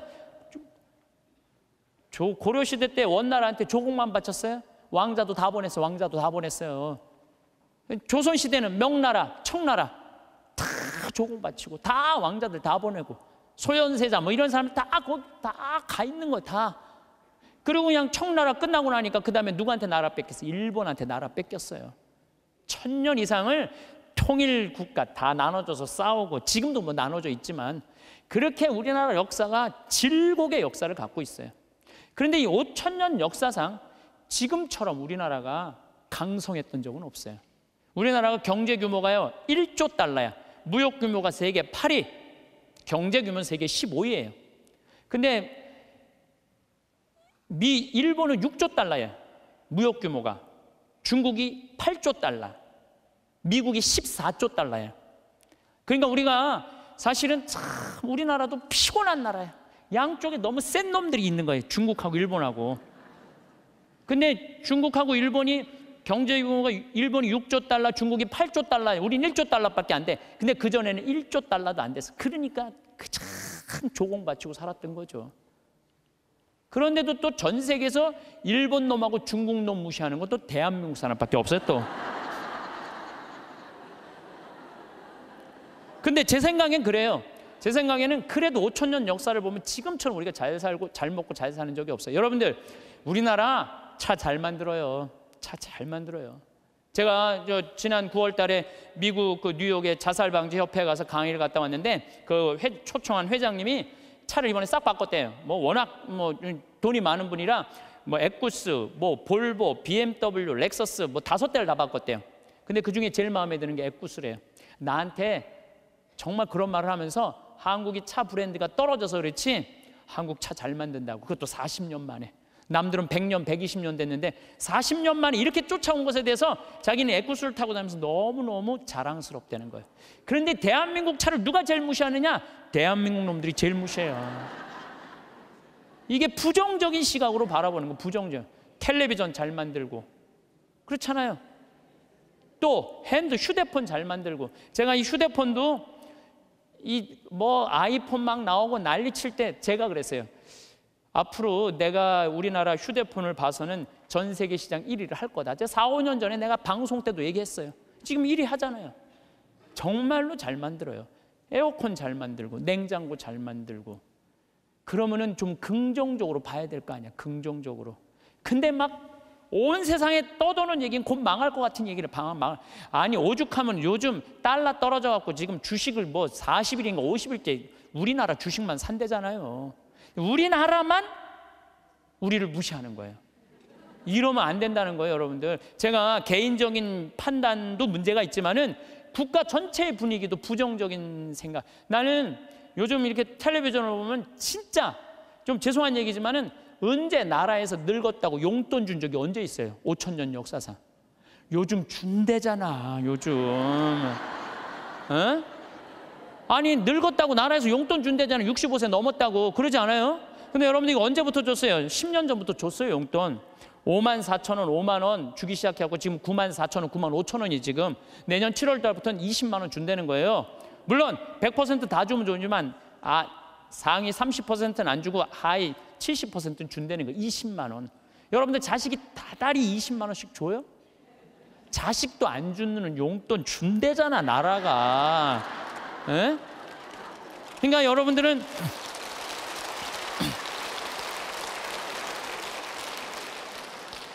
여러분들은 자식이 잘 되길 바라지 말고 누가 잘 되길 바라? 나라가 잘 되길 바래. 저는 제가 장담합니다. 앞으로 우리나라가 3만 달러, 4만 달러 넘었으면은요. 여러분들 65세 넘은 분들 30만 원, 50만 원, 60만 원 다 넘어가요. 용돈. 그렇게 주게 돼 있어요. 그러니까 여러분들은 우리나라가 긍정적인 마음으로 정말 나라가 융성할 수 있는 그런 마음으로 나라가 잘 되길 바라야 되는데 우리는 입만 열면 조금 있으면 망해야 된다고 조금 있으면 망해야 된다고 이렇게 말하면은요 아, 그래서 그게 개인적으로나 국가적이나 사회적이나 부정적인 눈으로 세상을 보면 안 돼요. 우리 생태마을에 음, 주창덕 씨라고 북에서 넘어온 탈북자가 한 명이 일을 하고 있어요. 근데 이분이 진짜 그 한경북도에서 살다가 지금 55인가 이쯤 나이가 됐는데 북의 얘기를 들어주면요 우리 직원들은요 다 뒤로 넘어가는 일이 너무너무 많아요. 이 사람들은요 쌀 구경한 적 없대요. 밀가루도 구경한 적 없대요. 제가 제일 놀라운 건 뭐냐면은 북한 사람들 밀가루 먹고 사는 줄 알았더니 밀가루는 어디 1년에 두 번 나온대 두번. 그리고 강냉이 죽만 먹고 산대요. 그럼 밀가루 가지고 수제비를 만들어 먹으면 그게 얼마나 고소한지 모른대요 그럼 뭐 농약을 쳐야지 뭐 맛이 이상할 거 아니야. 농약 칠 돈이 있어야지 농약을 칠 거 아니에요. 농약 그러니까 안전뱅이 아마 밀 보리로 아마 하는 것 같아요. 그 수, 수제비 먹으면 그렇게 맛있다는 거예요. 근데 그 1년에 딱 두 번 먹는다는 거. 나머지는 전부 강냉이 죽을 먹는 나머지는 전부.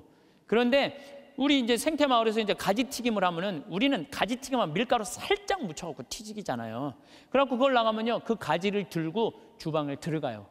그 탈북자가. 그 주방장한테 따져요. 밀가루 요것밖에 왜 안 묻히느냐고. 내가 밀가루 먹고 싶어서 북에서 넘어왔는데 왜 밀가루를 요거 조금밖에 안 묻히느냐고 슬픈 얘기예요. 슬픈 얘기예요. 북한은요 수도 없이 불- 굶어주고 내가 지금 북한 이야기라는 책을 읽고 있는데 거기서 하는 얘기가 그거예요. 95년, 96년, 97년에 죽을 때 북한 사람 그때 제일 많이 굶어 죽었거든요. 그나마 농장에서 일하는 사람 먹고 살았대요. 탄광에서 일하는 사람 다 죽었대요. 근데 굶어 죽으면요 다 새카매 갖고 죽는데 못 먹을 때. 근데 자기가 식당에서 일을 하는데 탄광촌에 배정을 받아서 하는데 한 10명이 새카매 갖고 다 쭈그리고 앉아 있더래요. 저 사람들은 왜 일도 안 하고 쭈그리고 앉아 있는지 왜 이렇게 다 새카마냐 그러니까 다 굶어 죽어 있는 거라고 지금 열 몇 명이 그대로 앉아서 그 자리에서 참, 북한 얼마 전에 뭐 여섯 명 넘어갔던 분들 다시 한국으로 보냈잖아요. 그분들 내가 쭉 읽어봤어요. 북한 가면 어떻게 대우할 줄 알고 아파도 병원 한 번 가본 적도 없고 그냥 고통이란 고통을 다 겪고 그리고 온 거예요. 그러니까 나는 북한 무슨 김일성 주체사상 찬양 이해가 안 가요. 뭐 물론 내가 제일 화가 나는 건 하느님을 믿을 수 없다는 나라 그런 나라에 대해서 제일 가슴이 아프고 슬프지만은 그런데 무슨 북한을 찬양을 하고 그래요. 국민들은 다 굶어 죽어 하는데 예? 그냥 이 저기 뭐저 대통령이라는 그 수령. 우리가 또 우리 또 얼마나 웃기냐면 우리 우리 직원들은 김정은이가 말이야. 백성들 굶어 죽이고 그러면요 그 사람이 딱 일어나고 김정은이가 뭡니까? 위대하신 수령 아바이 김정은이죠. 또 이렇게 얘기를 해요. 그럼 우리 직원들이 그래. 위대하긴 개뿔이 뭐가 있냐. 국민들 다 굶어 죽이는 뭐가 위대하냐고. 그러면은 그분이 그래. 그건 또 맞는 말입니다. 또 이런다니 참. 근데 더 슬픈 건 뭐냐면은 이분이 왜 탈북을 했느냐면 자기 딸하고 같이 해서 딸은 지금 간호학과 대학을 다니고 있는데 자기 아들이 관절염이었대요. 부인은 심장병이고 그거 고치고 싶어서 탈북을 한 거예요. 그래갖고 이제 돈을 이제 우리 생태마을에 이제 돈을 조금씩 좀 모아갖고 좀만 기다리면은 자기 가서 데리고 올 텐데 안 기다린 거야. 이 아들하고 부인이 이- 이번 여름에 압록강을 건넌 거예요. 압록강을 건넜는데 기다렸는데 연변에서 만나는 사람이 못 만났다고 전화가 온 거예요. 아니 그냥 우리 생태마을에서 저녁에 밥을 먹 얼굴이 하얘갖고 아주 이만 다 죽어가더라고. 그래서 내가 물어봤어 왜 그러느냐고 저 저 저 뭐 주창덕 형제 그랬더니 하는 말이 아니 연 북에서는 건너갔다는 소식이 왔는데 연변에서 못 만났다는 거예요. 그래서 내가 비행기표 끊어주고 돈 주고 가서 찾아와 봐라. 자식 아들하고 음, 부인 소식을 모르니까 일이 손에 잡히겠어요? 찾아와 봐라. 그래갖고 갔다 왔는데 결국은 못 찾고 자기만 넘어가다가 죽은 거죠. 물에 빠져서 주- 압록강 너 죽은 거예요. 여러분들 지금 대한민국 사람들은요 호강의 요강을 타고 있는 거예요 지금. 여러분들이 남한에 태어난 게 얼마나 감사한 정말로 감사한 거예요. 지금 미 북한에 그래도 지금 신앙을 하는 게 1%도 된대요. 크, 숨어서 숨어서 신앙생활하는 비율이 1%가 된다는 거. 우리 천주교하고 개신교하고 있다는 거예요, 지금도. 그들이 정말로 마음 편안하게 하나님께 찬양 드리고 영광 드릴 수 있는 거 통일이 돼야 돼요. 뭐 여러 가지 이유로도 통일이 돼야 되지만은 그 안에 이 정말로 신앙의 빛을 전해 줄 수 있는 통일이 돼야 되는 거예요. 우리 이 대한민국은 이렇게 보면은요 참 부정적인 시각이 너무 많은 것 같아요. 여러분들 정말로 한국은요 정말로 행복한 나라예요. 정말로. 요즘 나는 한국에 이렇게 외모로 평가하는 경향이 참 많아. 잘생기면 다 오케이야. 키 크면 다 좋고. 뭐 남자는 키가 커야 돼. 키가 키 개뿔 뭐 키가 크 뭐가 좋아요. 이 기장 옷 옷 저 저기 막 기지나 많이 들어가지. 키 큰 게 뭐가 좋아. 그냥 이쁘면 다 용서해. 이쁘면 다 용서해. 이쁘면 다 용서해. 그래서 가끔 이렇게 말하는 사람들이 있어요. 내가 사람 하나 제대로 볼 줄 안다. 척 보면 안다. 그게 여러분들 자기 발목을 잡는 거예요. 뭐 확실한 얘기는 아니라 그러지만 떠도는 얘기에 하버드 대학에 스탠포드 부부가 가갖고 허름한 옷을 입고 스탠포드 부부가 가갖고 이 저기 뭐야 하버드 대학 총장실에 가고 나 좀 여기 아들이 죽었거든요. 16세 하버드 대 다니다가 그래갖고 나 여기 좀 기증하고 싶다. 어, 좀 총장을 만나게 해주라. 너무 허름하니까 이 수위가 당신 같은 사람이 뭘 기증하냐 안 만나게 해줘요. 그래갖고 이 사람이 이 샌프란시스코 사람인데 이 아주 철도로 돈을 버는 사람이야. 아니 저 하버드 대학에서 우리 돈을 기증을 안 받느니 차라리 우리가 그냥 여기다가 대학을 하자. 그래갖고 생긴 대학이 스탠포드 대학이라는 거예요. 지난번에 산호세 강의 갔을 때도 스탠포드 대학을 지나가 봤는데 어마어마하게 져놨더라고. 대학이 아니라 거의 뭐 궁전 같이 져놨더라고요. 그래서 이 저기 뭐야 그 하버드 정문에는 이런 말이 써 있대. 사람을 외모로 판단하지 말라라는 글귀가 있대요. 예. 예. 죄로 가는 길은 내 눈에 있는 들보 볼 생각은 안 하고 남의 눈에 있는 티끌 끄집어낸 이런 사람들이 죄로 가는 거예요. 그러니까 여러분들 남 판단하지 마세요. 남 평가하지도 마시고 남 비난하지도 말고 판단하고 난 다음에 비난하지도 말고 똥 묻은 겨가 겨 묻은 겨 비웃는다는 그런 우리 속담도 있듯이 자신의 잘못된 점을 되돌아보는 일이 우리가 중요한 거예요. 특히 신앙인들은 남 누구 어떻고 누구 어떻고 이거는요. 이 사도 바오로가 남을 해치는 말은 입 밖에도 내지 말라 그러잖아요. 남을 해치는 말은. 근데 우리가 그냥 이게 몸에 배 있어.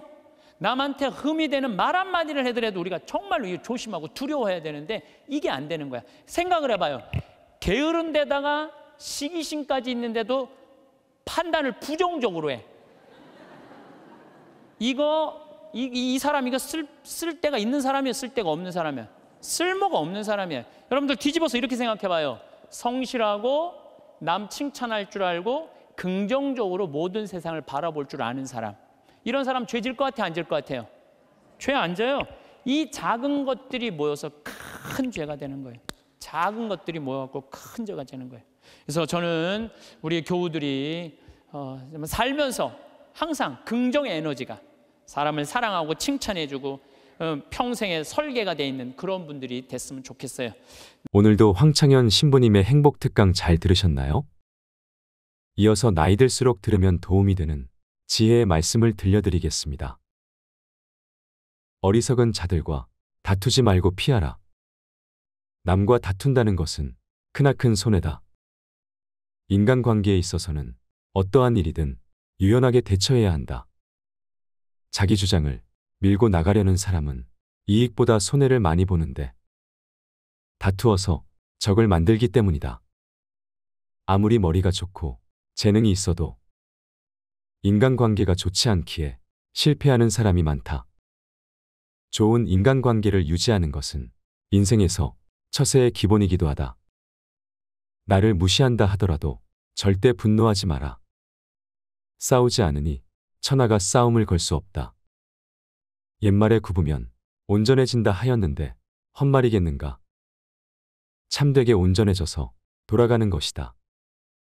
물속 깊이 있는 물고기와 하늘 높이 떠 있는 기러기는 아무리 높아도 활로 쏘고 아무리 깊어도 낚시로 낚을 수 있다. 그러나 오직 사람의 마음은 바로 곁에 있더라도 그 마음을 헤아릴 수 없다. 쓸데없이 남을 상처 주지 마라. 남에게 좋은 말을 해주는 것은 비단보다도 곱고 따뜻하지만 남에게 상처를 주는 말은 창칼보다도 차갑다. 쓸데없는 말과 급하지 않은 일에는 결코 마음을 쓰지 말라. 그 사람을 아는 가장 쉬운 방법은 그 사람의 주변에 어떤 사람이 있는지를 보는 것이다. 그 임금을 알고자 하면 먼저 그 신하를 보고 그 사람을 알고자 하면 그 벗을 보고 그 아버지를 알고자 하면 먼저 그 자식을 보고 임금이 거룩하면 그 신하가 충성스럽고 아버지가 인자하면 그 자식이 효성스럽다. 다른 사람의 착한 점을 보거든. 내게도 그런 착한 점이 있나 살펴보라. 다른 사람의 나쁜 점을 보면 내게도 그런 나쁜 점이 있는지를 살펴보라. 이렇게 해야 내 자신에게 보탬이 되고 주변에 좋은 사람이 모이는 법이다. 집안이 화목하고 친구들이 많다면 비록 가난할지라도 좋지만 주변에 사람이 없다면 부유한들 무엇하랴. 단지 한 자식이라도 효도하고 진정한 친구 한 명만 있다면 자손, 친구 많은 것이 무슨 소용이 있으랴. 남의 말로 사람을 판단하려거든 나의 눈으로 한 번 더 살펴보라. 직접 눈으로 본 일도 오히려 참인지 아닌지 염려스러운데 더구나 등 뒤에서 남이 말하는 것이야. 어찌 이것을 깊이 믿을 수 있겠는가? 자신의 눈으로 보고 사람을 판단해야지. 남에게 전해 들은 대로 남을 재단해서는 안 된다. 만약 한쪽의 말만 듣는다면 친한 사이가 갑자기 떨어짐을 볼 것이다. 귀로 남의 그릇됨을 듣지 말아라. 눈으로 남의 단점을 보지 말아라. 입으로는 남의 허물을 말하지 말아라. 세상에서 가장 해로운 것은 경솔함이다. 경솔한 사람은 그가 아무리 사악하고 위험한 사람일지라도 어느 편에서든 이용당하기 쉽다.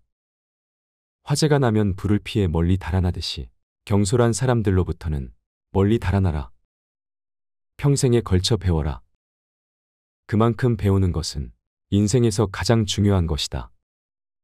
항상 공부하는 자세로 끊임없이 자신을 발전시켜라. 요즘 사람들은 대부분 학교에서만 배우고 점점 사회 속에 녹아들며 학구심을 잃어버린다. 배우지 않는 이들에게서는 더 이상의 발전을 기대할 수 없다. 반대로 학생 시절에는 부족했더라도 계속해서 꾸준히 배우고 노력한 사람들은 절대로 퇴보하지 않으며 시간이 지날수록 더욱 크게 성장하는 법이다. 지극히 성실해서 움직일 수 없는 것은 없으며 성실하지 않고서 움직일 수 있는 것은 없다. 험난한 인간관계 속에서 올바른 길로 다가오는 자와는 어울리고 잘못된 길로 다가오는 자는 피하도록 하라. 질 나쁜 것을 묻는 자에게는 대답하지 말 것이며 질 나쁜 것을 말하는 자에게는 묻지 말 것이며 다투려고 하는 자와는 더불어 논쟁하지 말라. 옛 성인을 본받으려고 힘쓰고 학문에 방해가 되는 것은 멀리하며 부단히 자신을 갈고 닦도록 힘써야 한다. 사람을 사귀며 있어서 경솔하지 않으면 인생에 막힘이 없을 것이다. 세상에 쓸모없는 사람은 없다. 사람뿐만이 아니라 이 세상에 쓸모없는 것은 단 하나도 없다. 좋은 나무가 먼저 죽는다. 저기 볼품없이 보이는 나무는 구부러지고 울퉁불퉁하기 때문에 오히려 목수들한테 잘리지도 않고 그토록 오래 살아 큰 나무가 됐다. 저 볼품없어 보이는 나무가 쓸모없어 보이지만 햇빛이 쨍쨍한 날 그 나무의 그늘에서 많은 사람들이 시원하게 편히 쉴 수 있고 비바람과 눈보라를 막아주며 저 보잘것 없는 나무가 산을 보다 푸르게 해준다. 이처럼 쓸모 있음과 쓸모 없음의 기준은 그저 자신의 마음 안에 있다. 지금 가는 길이 바르다면 결코 조급해하지 마라. 인간은 사회 속에서 자신의 뜻을 펼치려고 하지만 지금 당장 쓰임 받는 게 무조건 좋은 것은 아니다. 오히려 때가 아닐 때 일찍 쓰임 받음으로써 하늘이 내린 재능을 다하지 못하고 자신의 인생을 낭비할 수도 있다는 것이다. 지금 당장 쓰여져 기뻐할 이도 많겠지만 지쳐 병에 걸려 죽는다면 아직 쓰이지 않은 것만 못하다. 인생은 속도가 아니라 방향임을 명심하라. 무조건 일찍 성공가도를 달린다고 마지막까지 행복한 삶을 살 것이라는 보장은 없는 법이다. 교만을 버리고 겸손하게 행동하라. 교만은 인간에게 재앙이 되지만 공손함과 검약은 재앙을 물리칠 수 있다. 사람들에게 좋은 말을 해주면 상대에게는 그 말이 그 어떤 이불보다 더 따뜻할 것이고 사람을 해치려고 말을 하면 상대에게는 그 말이 창으로 찌르는 것보다도 더 큰 고통으로 다가올 것이다. 그러니 시도 때도 없이 인간관계가 위태로운 것은 무릇 자기가 내뱉는 말에 그 원인이 있다. 깊이 생각하지 않고 여과 없이 뱉은 말은 나를 해치고 타인도 해치는 법이다. 결코 오만하지 마라. 모든 일은 계획으로 시작하고 노력으로 성취되며 오만으로 망치는 법이다. 교만은 교만이라는 거울 외에는 자신을 비춰볼 수 있는 다른 거울을 지니고 있지 않다. 교만한 자들은 스스로 오만함과 건방짐에 사로잡혀 있기 때문이다. 따라서 겸손해야 한다. 진정으로 용기 있는 사람만이 겸손할 수 있다. 겸손은 자기를 낮추는 것이 아니라 도리어 자기를 세우는 것임을 명심해야 한다.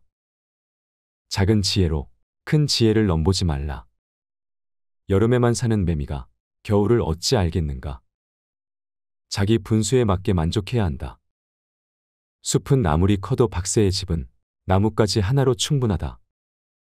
얕은 지식으로 자랑하지 말라. 사람은 높은 나무가 무섭지만 원숭이는 무서워하지 않는다. 사람은 옳고 그름을 잘 알지 못한다. 분명 그때는 슬퍼서 울었는데 지금은 기뻐서 웃고 있지 않는가. 다른 사람의 말을 할 때는 더없이 신중하라. 자기가 아닌 다른 사람의 말을 할 때는 언제나 더없이 신중한 자세로 임해야 한다. 보지 않았거든 보았다 하지 말고 듣지 않았거든 들었다 하지 말라. 그릇된 선입견이 나의 눈을 멀게 하고 요망한 새치혀가 나의 입을 갉아먹는다.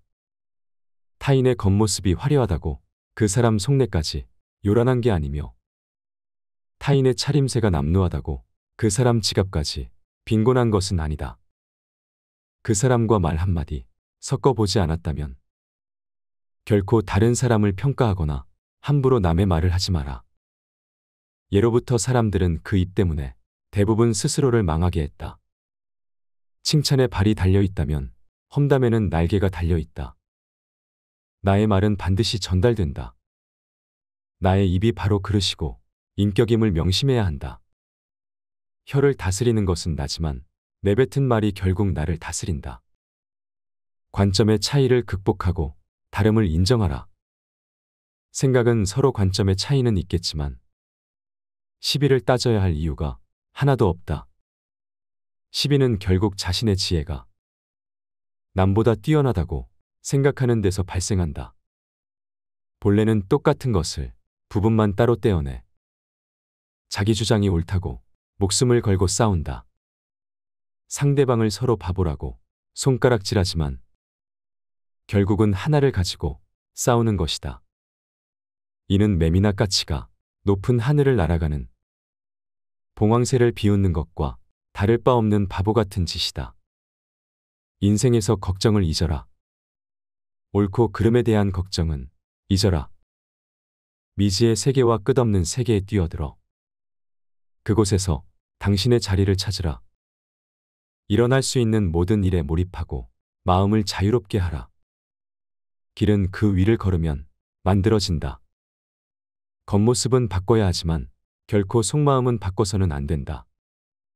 그 사람이 그 사람인 까닭은 마음속에 바뀌지 않는 자기만의 고유한 것을 품고 있기 때문이다. 겉모습은 얼마든지 바꿔도 된다. 우리는 겉모습을 부드럽게 하고 다른 사람들이 하는 대로 따라하면서 살아갈 수 있다. 하지만 우리에겐 겉모습만 있는 것이 아니다. 가장 중요한 것은 본질로 자신만의 독특한 가치관과 품격, 내면의 간직한 본성이 가장 중요하다. 이것이 바로 속마음이다. 살아가다 보면 살아가기 위해 때로는 많은 것을 내려놓아야 하지만 어떤 일이 있어도 반드시 지켜야 할 것도 있다. 우리 밖에 펼쳐진 끝없이 넓은 세계는 하루가 다르게 변화하고 있고 매일매일 새로운 상황이 펼쳐지고 새로운 규칙들이 만들어진다. 이것은 저마다 새롭게 받아들여야 할 기준이며 좌표다. 겉모습은 바꾸지만 속마음은 바꾸지 않는다는 것은 이러한 바깥 세계의 변화에 대해서는 통달하고 순응해야 하는 모습을 보여야 하지만 그 마음속으로는 타고난 본질을 품고 본질을 타락시키지 않도록 해야 한다. 남들에게 했던 말을 되풀이하지 마라. 아무리 좋은 말이어도 자꾸 반복하면 다른 사람은 불쾌해질 수밖에 없고 이로 인해 엉뚱한 방식으로 큰 손해를 볼 수도 있다. 지혜로운 사람들조차 이를 조절하지 못해 자주 실수를 저지르는데 이를 반드시 경계하고 말을 아껴라. 사람을 대할 때는 본질을 보도록 하라. 사사로움과 편애를 버려라. 사람을 대할 때 편견을 가져서는 안 된다. 처음부터 자기 마음 속에 의심을 품고 다른 의심스러운 것을 풀려고 하면 그 결정은 타당한 것이 될 수가 없다. 대상에 대해 자기 마음이 이미 편견으로 정해져 있기 때문이다. 사물을 판단하는 데는 먼저 자기 자신의 마음을 조용하게 가라앉힌 후에야 비로소 바르게 판단할 수 있는 것이다.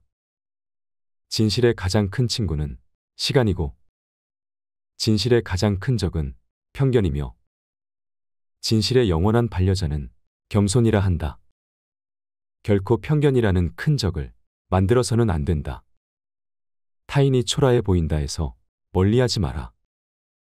넓은 바다는 작은 시냇물도 버리지 않았기 때문에 그토록 넉넉해진 것이다. 단 의롭지 못하고 얄팍한 사람은 멀리하라. 흰 종이도 물드는 법이다. 물은 그릇의 모양을 따르고 사람은 친구의 선악을 따르니 내가 의롭고 돌이 있다면 내 친구도 바른 길로 갈 것이다. 남보다 조금 잘났다고 해서 다른 사람을 무시하지 마라. 그게 누가 됐든 간에 나이가 어리다고 무시하지 말고 비천하다고 업신여기지 마라. 사람은 누구나 자신만의 독특한 장점들을 가지고 있다. 그러므로 어느 특정한 분야에 있어서 남들보다 조금 우월하다고 크나큰 자만심에 빠져 타인을 무시하거나 타인을 우습게 봐서는 절대로 안 된다. 권세와 지위를 등에 업고 교만을 떠는 사람은 타인의 진심 어린 존경을 받을 수 없을 뿐만 아니라 그 인간관계 또한 좋아질 수 없다. 타인을 함부로 무시하지 않는 성품은 참으로 소중한 덕목이다. 남의 말을 귀담아 듣되 모든 것을 나에게 적용시키지 마라. 어떤 하나의 사례가 결코 모든 사람에게 통용되는 것은 아니다. 각자가 자기에게 알맞는 방식을 찾도록 하라. 각자가 자기에게 알맞는 형편에 서도록 하라. 서 있는 사람은 넘어지지 않도록 조심해야 하는 법이다. 의미 없이 다투지 마라. 손뼉도 마주쳐야 소리가 나는 법이다.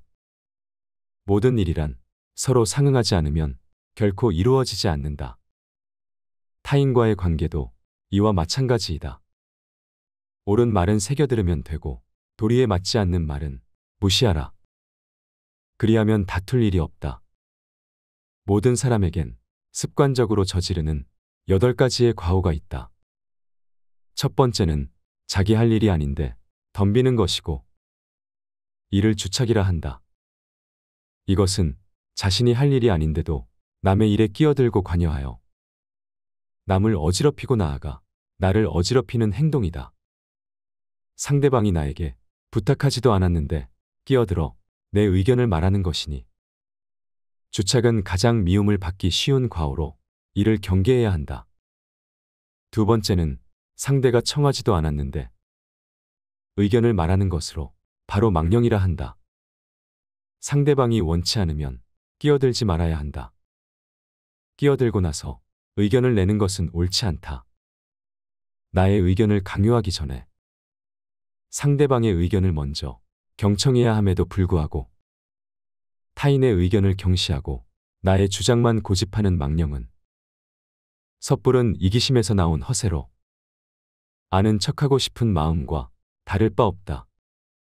세 번째는 남의 비위를 맞추려고 말하는 것을 아첨이라 한다. 이러한 사람들은 우선적으로 경계해야 한다. 다른 사람의 비위를 맞추기 위해서 그저 알랑거리는 자들은 어련히 목적이 있기 마련이다. 상대방에게 얻어낼 것이 있거나 계속 관계를 맺으면서 상대방에게 무언가를 빼낼 가능성을 노리고 있을 가능성이 높다. 아첨하는 자를 경계해야 하는 이유는 자신을 떠받들어주는 말은 듣기에 좋기 때문이다. 좋은 말은 듣기 싫고 나쁜 말은 듣기 좋다는 것을 명심해야 한다. 네 번째는 시비를 가리지 않고 마구 말을 하는 것으로 이것은 푼수라고 한다. 푼수란 옳고 그름의 시시비비를 가려 따져봐야 함에도 불구하고 마구 말하는 행동이다. 내가 능력이 있고 남들보다 조금 나은 지식을 갖고 있더라도 상대방의 의견을 경청하지 않으며 섣부르게 자기가 하고 싶은 대로 말하고 행동하는 건 상대방을 상처 입히고 나아가 나에게 해를 끼치는 행위이다. 다섯 번째로 남의 단점을 말하기 좋아하는 것을 참소라 한다. 상대방의 단점과 흠결에 대해 절대로 함부로 말해서는 안 된다. 이를 좋아하고 즐기는 사람들은 피하라. 이들은 자신의 결점을 가리고 장점을 돋보이기 위해 상대방의 부족함과 나약한 부분만을 과장하여 공격하고 비판하고 무시하는 것이 일상이다. 참소의 무서운 점은 자신도 모르게 습관이 되어 자기 자신을 침몰시킬 수 있다는 점이고 참소를 좋아하는 사람과 어울리면 나 또한 그런 사람이 되어간다는 점이다. 결점은 누구에게나 있다. 많거나 적거나의 차이가 있을 뿐이다. 타인에 대한 관용이 없다면 우정뿐 아니라 상하관계나 동료관계도 더 이상 지속되지 못한다. 그러므로 항상 관용의 자세를 유지하라. 우리는 서로를 알아가는 법을 배워야 한다. 여섯 번째는 타인의 관계를 갈라놓는 것으로 이간질이라 한다. 이간질이라 함은 사이좋은 사람들이나 개인과 한 무리 사이의 관계를 틀어지게 만들기 위하여 한 사람의 개인적, 사회적 평판을 떨어뜨리는 행위를 말한다. 이간질은 타인을 해코지하는 것으로 비겁하고 도에 어긋나는 행동이다. 의외로 아무 생각 없이 이간질을 일상적으로 하는 사람들도 있다. 뒷담화를 일상적으로 하는 사람이 그 좋은 예다. 이런 사람들 대부분은 자기가 하는 일이 이간질이라는 자각도 없고 별로 죄책감도 없기 때문에 아예 처음부터 가까이 하지 않는 것이 낫다. 일곱 번째는 나쁜 짓을 칭찬하여 사람을 타락시킴을 간특하다 한다. 상대방이 나쁜 행동을 하고 죄를 짓고 있는데도 이를 괜찮다고 안심시키며 상대방이 천천히 타락해 가는 것을 지켜보는 것이 바로 간특이다. 이들은 단언컨대 악이다. 상대방의 잘못이나 실수를 보고 그가 망가지는 것을 즐기며 더욱 타락하도록 부추기는 사람은 겉과 속이 다르고 마치 뱀처럼 교활한 사람이다. 이런 부류의 사람은 도움이 될 게 없다. 인생에서 가장 경계해야 할 사람이니 이런 자가 있다면 거리를 멀리해라. 마지막 여덟 번째는 옳고 그름을 가리지 않고 비위를 맞춰 상대방의 속셈을 뽑아보려 하는 것을 즉 음흉하다고 한다. 이들은 겉으로는 부드러워 보이나 속으로는 무척이나 엉큼하고 흉악한 성정을 갖고 있다.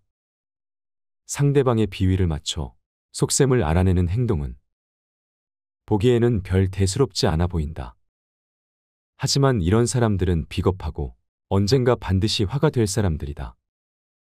이런 부류의 사람들은 오로지 자신의 이익만을 위해 상대방의 마음을 이용하여 자신이 원하는 것을 가로챈다. 그렇기에 이들은 악랄하고 가장 비겁한 사람들이다. 이런 사람들과 상대하다 보면 나도 모르게 위험과 가까워지는 수가 있다. 따라서 이런 사람들과는 적당한 거리를 유지하라. 이 여덟 가지 인간의 잘못은 밖으로는 남을 어지럽히고 안으로는 자기 몸을 해친다. 때문에 이런 사람은 친한 친구로 사귀지 말고 거리를 두는 것이 좋다.